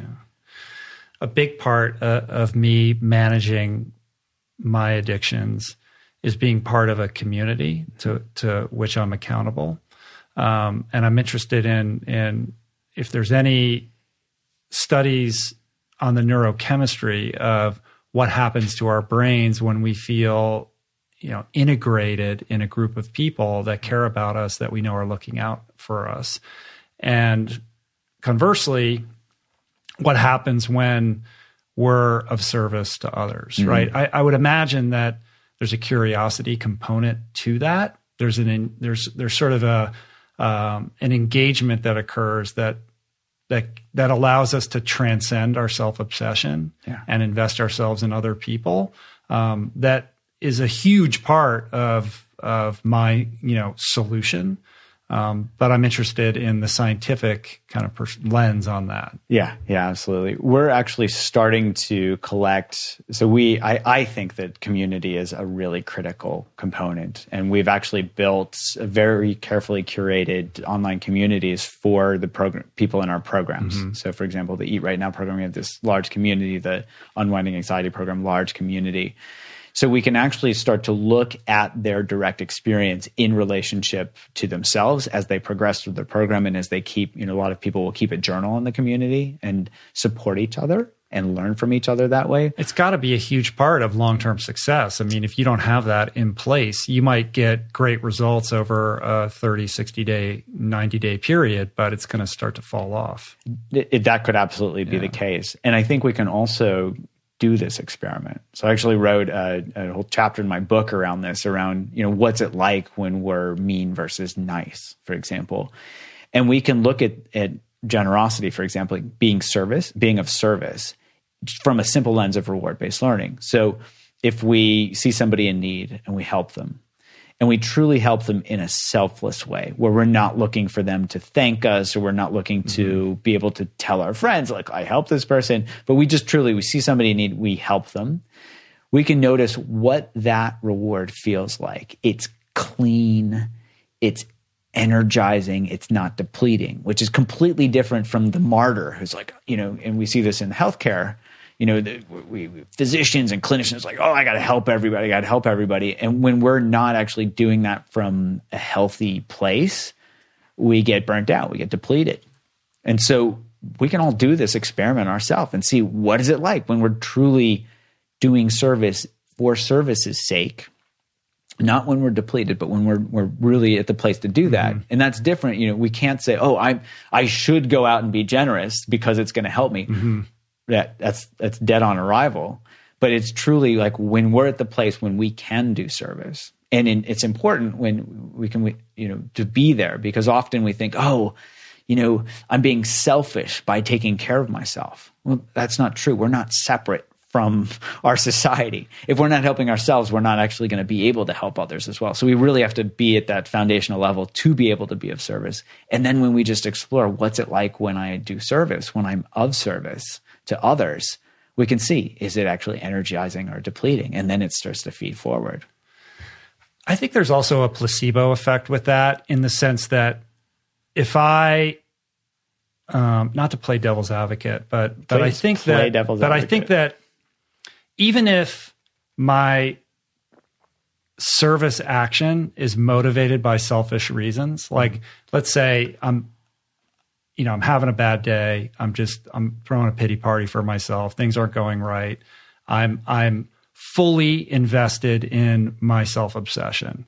I do still have enough self-awareness to say I know that's why I'm suffering.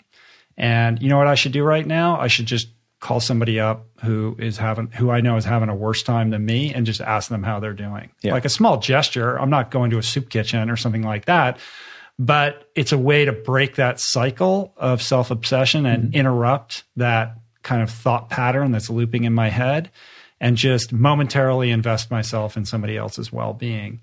And that interruption, even when motivated purely by selfish reasons, like I, am not, you know, some white knight, you know, who's purely doing it for, you know, for reasons I wish, you know, were motivating me, yeah. it still has the same effect. Like I will feel better. It has interrupted that. I feel good because I know that I, that I, you know, made myself available even when I'm busy mm-hmm. uh, for somebody else. And that's a practice that has, you know, served me well over many years. Yeah. So I don't think that's incongruous at all if you look at it as I'm going to help somebody in order to feel better, uh-huh. then that can loop in a negative way. But what you pointed out was two things. One, awareness. You're self aware of, of this is a habit pattern that I'm stuck in, and I can do this to step out of it.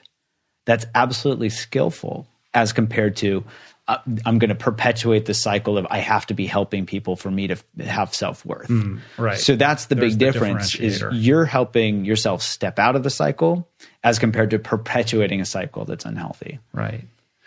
What are the things that that trip people up the most? Like let's take quitting smoking for example. Like even they come to you, they're like, "I get it, Jud. I'm in. Like tell me what to do. I'm doing it. I got the app and the whole thing." But they're still like, "Oh, I thought I was clear, but you're still doing that thing."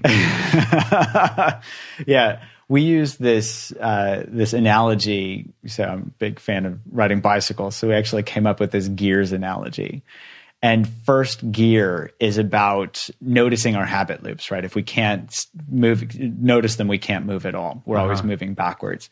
Second gear is exploring what the result is. Like, what do I get from this? And that's a really critical step that people try to bypass as much as they can because mm-hmm. intellectually they know, you know, smoking or overeating, you know, I know it's not good for me.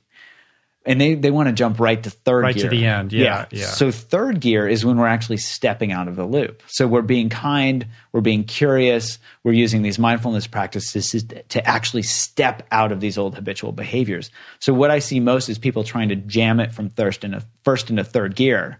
And of course, you know, they, Right. they, it doesn't work. You know, you're on a hill, and of course, we're going to fall over on the bike, or we're going to stall the car. yeah, yeah, yeah. So you have to just embrace the process as it's laid out yeah. in front of you. Yeah. And the second the second step or that second gear is the most illuminating because that's really where our brain starts to shift from these unhealthy behaviors, seeing that, oh, this isn't rewarding, to finding the motivation to look for something higher. And that's where that's when we can actually shift into third gear. It's it's not glamorous, but it's critical. What is the research that has not been done yet that you would like to see be done that could shed additional light on the craving mind? Oh boy, there's a lot. Yeah. Uh, one of the pieces that we're working on now is really lining up the specific mechanisms around um, the people doing these mental imagery exercises, or not imagery, but kind of these mental um, imagination exercise where they imagine going and eating, overeating, or imagine smoking, and lining that directly up with the uh, with the change in reward value in their brain. So we've only done, you know, we've done some neuroimaging work with smoking, but we want to see this also in the eating program. We want to see this even with anxiety.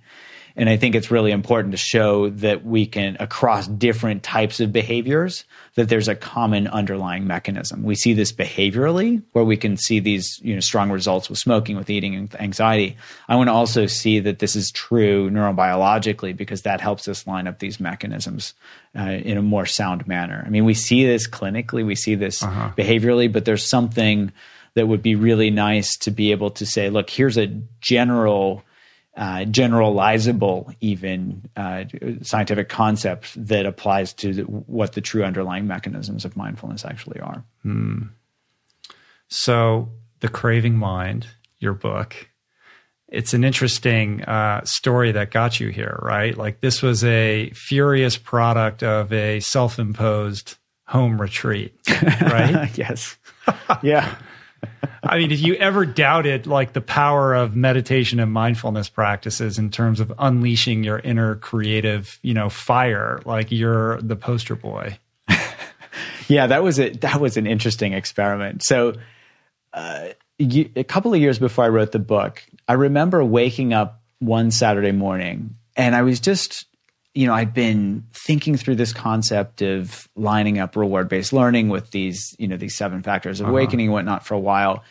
And one morning, I just woke. It was a Saturday morning. I can remember what the temperature was outside. That it was partly cloudy. All this stuff. I just went down to my dining room table, pulled out a couple of references, and watched this paper write itself in three hours. And I put down, you know, closed my laptop, and I was like, "Wow, that was amazing! What was that?" And the paper got published without with very few revisions, you know, whatnot. I was uh-huh. like, oh wow, I can actually, you know, I'd been I'd been learning to get into flow through like mountain biking and playing mm-hmm. music and whatnot. And I was like, wow, I can actually do this when writing. So fast forward several years, I when the book felt like it was ready to be written, and that was actually a critical piece. I can't just like say, "Hey, I'm going to write about you know cooking," Yeah. and sit down and write a cook. I'm you know I don't know how to do Well, that. You've been pestered to write a book for a while, right? I had been. Yeah. So, you know, several publishers said, Hey, we'd like you to write a book, this and that. And it just hadn't felt right. And so I kind of been like, eh, someday I'll do that someday. And then finally the conditions came together.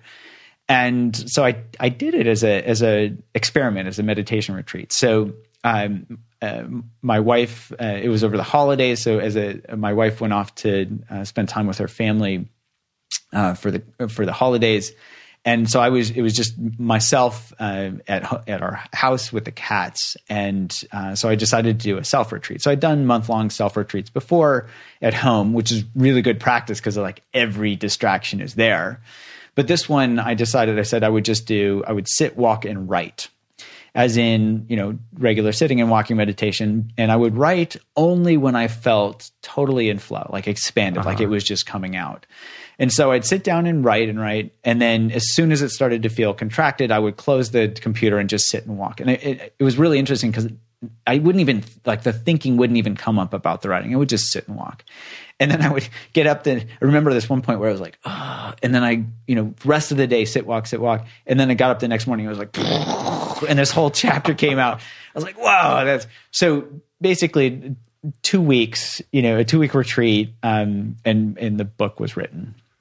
That's unbelievable. It was really fun. and it, it, it contravenes the, the sort of Steven Pressfield war of art, like show up for the page every day, no matter what, like push through. Like you are in. This is more of a a, a surrender, like an allowing. Like I'm just allowing this to happen. And the minute it feels constricted, to use your word, you walk away from it without any judgment. Absolutely. And I think that book experience was a really good reminder that we can actually train ourselves to live our lives this way each moment. Yeah. Each moment we can be looking, oh, did Rich ask me, did I answer Rich's question well? Oh, or oh, wow, that Yeah. was a, that was a crazy answer. thing. Don't know where that came from. Do we have to be uh, two decades into our meditation practice to avail ourselves of this? Uh, we don't. So one thing that I want to do to be of service is, you know, I've fallen on my face a lot. You know, it was over 10 years that I would, you know, struggle and struggle and struggle with meditation before I started to wake up mm-hmm. that it wasn't about the struggle and the struggle taught me something. So one thing I want to do to be of service is to help other people like learn that they don't have to the struggle is not it you can learn from the struggle but the struggle is not it and so we you know that's why we set up our that's why i do this research to really try to understand what are the mechanisms what are the most efficient ways to deliver this. This is why this turned you know we started developing apps. I had no idea i would be hmm. making app based trainings but the aim was can we deliver this in a way that is as efficient and as helpful as possible? And i think you know, we can use these weapons of mass distraction, our cell phones, in a way that can actually be helpful. If people are already, you know, if they already have these things um, and are using them ubiquitously, why not use them as a way to help us train our minds? And then we can learn that the cell phones, the technology is not the problem. It's that we don't know how our minds work, and we can start to learn to work with our yeah, minds. our relationship to them. Um, you wrote an interesting piece where you talk about the the. I mean, there's a lot of sort of self help apps out there that are oriented around losing weight or you know what what have you. Um, but you kind of canvassed the the efficacy of these things, and it was something like they purport to be, for the most part, something like seventy percent efficacious, but in fact only two percent effective, two point six or something like that. Yeah, basically, there's very, very, very little science Yeah. behind any of these things, and there there are a lot of folks that claim, "Oh, based on science." Well, that's that yeah exactly. What does that mean? And when you dig into it and people have done studies on this when when they've dug into it it, Mm-hmm. it doesn't mean a whole lot for most of these. So hopefully the field will actually mature where there will be good science behind these things but it it takes years and it actually takes interest in doing that. And a lot of companies don't have that much time to survive. They've got this clock ticking this this runway that's going to run out if they don't sell a product uh, fortunately, you know, we were more of the homegrown where I really want to understand mechanism. I really want to make sure something works, you know, and if, if we can put it out there and help people, great. Um, But I'm not going to base this on, you know, we've got a, you know, 10x or whatever. Yeah, and this is this is like consumer facing, but it's also uh, used for like enterprises, right? Like you're using this with with just corporations and healthcare company, any like companies that want to make sure that their employees are, you know, mindfully healthy. Yeah. Well, I think companies are finally waking up to the fact that they, you know, it costs them a lot of money, it costs them a lot of productivity. And it's so gratifying to see that companies are actually looking at the well-being of their employees. You know, that used to be in the soft side of HR where it's like, oh, well-being, yeah, we'll throw a little money at that to say that we're we're doing this. They're really saying, well, you know, well-being is actually a critical element uh, to our empl- you know to keeping employees here long term you know the uh, the turn reducing turnover and all this stuff. So i think they're really starting to look at this much more carefully to say you know where are the scientifically based uh, programs that can actually move the needle for us and so we've started to you know we've been getting a lot of incoming traffic where companies are very interested in in seeing this because you know we've been doing the science for 20 Yeah, years I know. It's got to be really gratifying for you as somebody who's been in this for so long to see the culture kind of catch up with where you've been at for some time and really embrace these ideas in a mainstream way. Yeah, yeah, going from boy, Jud, you're going to kill your career Yeah. to Who is that "Oh." guy? Have you called that guy recently? You go like, hey, uh, 18 million on my TED talk, dude. Well, I. Send him a postcard yeah, yeah. Well, that's from the TED conference. Yeah. Of course the the I know how ungratifying ego gratification yeah, actually is. I know. Yeah. But play that one out. Like, all right, well, it feels good for a minute. And then the hangover afterwards of like, oh man. Man, I sounded like a jerk. I know. But I can at least propose it.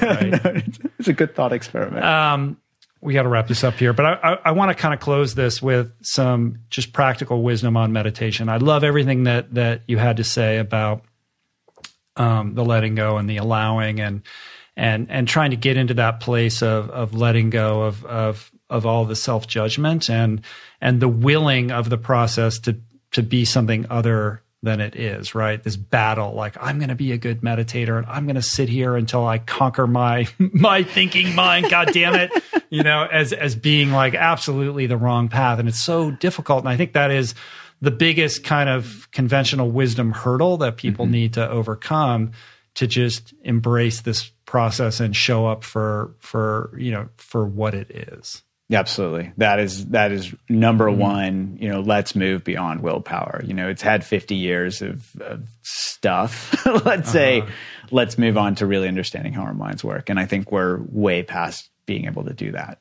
Yeah.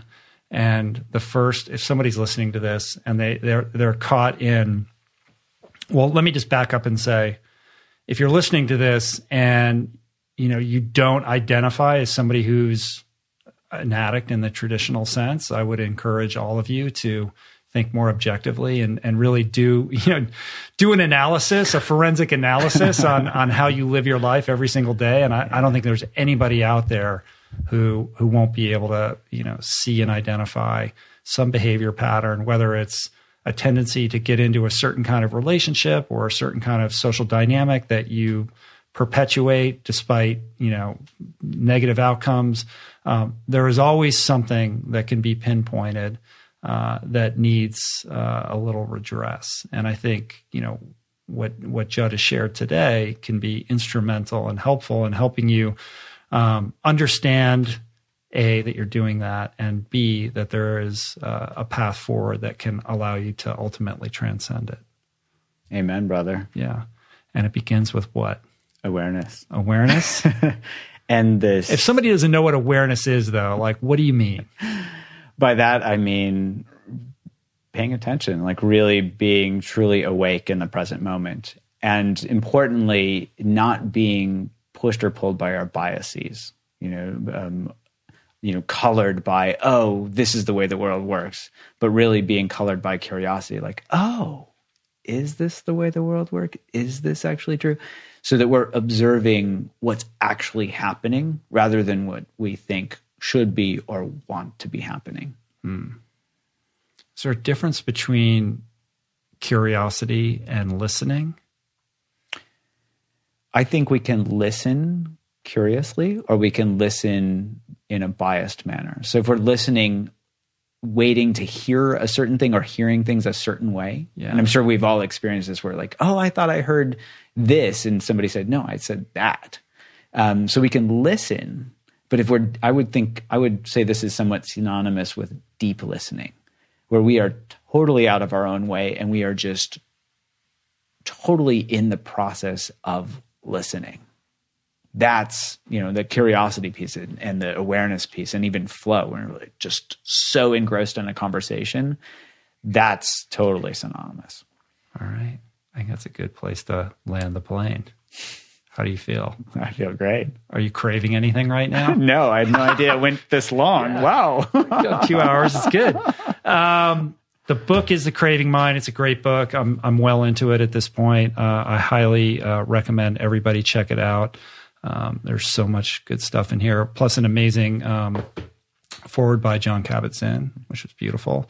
Uh, and if people want to learn more about you, drjud.com, what's the best place for them to go? Yeah, we've got a res- that's our resource website, drjud.com, um, where they can learn about my research, about the book, about our apps, um, and we've got a bunch of animations on there that teach people right. like everyday addictions and things like that. So, right, all the apps can be found through that that portal. Yeah, absolutely. Right, and uh, check out his TED talks. Right, you've got two. Two. Well, a TED and a, TEDx, TED, and then TEDx. the big TED. Yeah. How many views does that thing have now? I've crazy number of views. Uh, I, a lot. Yeah. All right. You don't want to admit that you check once in a while. All right. Busted. um, good to talk to you, man. Come back and, and share with me more. I, I love what you're doing. I appreciate the work that you're doing. I think it's really important. Um, you know, addiction is the epidemic of our time. It's yeah. why we're obese. It's why the opioid crisis exists. These are massive problems that need to be solved at scale. And so the science that you're doing and how it merges with these traditional historic methods of mindfulness, I think is super important and worth everybody's uh, conscious investigation. So thank you. Thank you. All right. Peace. Lance. Good stuff. Hope you guys enjoyed that. I hope you got a lot out of that. I hope that elevated your edification in this world of habit change and addiction and compulsion. For more on Jud and his world, please check out the show notes on the episode page at richroll.com. And you can let him know personally how this one landed for you by sharing your thoughts with him directly on Twitter or Instagram at Jud Brewer. Also, don't forget to pick up a copy of his book, The Craving Mind, which is also available on Audible, of course. And here's the thing if you are struggling with your diet, if you are truly desiring of once and for all mastering your plate, but feel like you lack the skill in the kitchen or you don't have the time or the budget to eat properly, please check out our Plant Power Meal Planner. I really think it can help you. It's an extraordinary product we work very hard to create that solves a very basic problem making nutritious eating convenient, affordable, and delicious. When you sign up at meals.richroll.com, you will get access to thousands of constantly updated, delicious, easy to prepare, nutritious plant based recipes that are completely customized based on a profile of personal preferences that you upload when you sign up. You also get unlimited grocery lists, grocery delivery in most metropolitan areas, and access to a team of nutrition coaches at the ready to guide you seven days a week. And all of this you get for just $1.90 a week when you sign up for a year, which is insane. It's literally the price of a cup of coffee. So to learn more and to sign up, go to meals.richroll.com or click on Meal Planner on the top menu on my website. If you'd like to support the work we do here on the show, subscribe, rate, and comment on the podcast on Apple Podcasts. That really helps new people discover the show. You can tell your friends about your favorite episode on social media, perhaps. Subscribe to my YouTube channel, Spotify, Google Podcasts, all those places. And you can support us on Patreon at richroll.com forward slash donate. I want to thank everybody, the team that helps put this show on every week. Jason Camiolo for audio engineering, production, show notes, interstitial music, lots of behind the scenes stuff. Blake Curtis and Margot Lubin, who do double duty on videoing the show for YouTube. Jessica Miranda for graphics, Ali Rogers for portraits, DK David Kahn for advertiser relationships, and my boys, Tyler and Trapper and Harry, who created the theme music for this show that dates back all the way to day one. They called their band Analemma at the time. I don't think they're still calling their band that, but I keep saying it Analemma. Anyway, appreciate all of you guys. Thank you for the love. I will see you back here in a couple days with a really wonderful conversation with a true maven of all things creativity, photographer, CreativeLive founder, and author of this new book, which I really love, Creative Calling. His name is Chase Jarvis, and you're going to love it. Here is a little taste. Until then, be still, be mindful, eat plants. Namaste. The people that you are inspired by, that you moved by, that you're connected to, that you admire, their lives were created intentionally. There's all kinds of circumstances, but they created the puzzle that is their life and they're expressing themselves in a particular way. And it's intentional, it's designed, and it's created. That creativity is a muscle. It's a habit, not a skill. It's a process, not a product. It's a muscle. And the only way you learn is through practice. And this is why I advocate action over intellect. Like if you're sitting around trying to figure this out and make the perfect chess move, like that's not how it happens. It's the action, it's the doing that actually creates the learning. It's great to get information from the internet or your mentor or whomever, but learning, like actually doing that part is incredibly valuable. It is the riskiest time in the world to play it safe.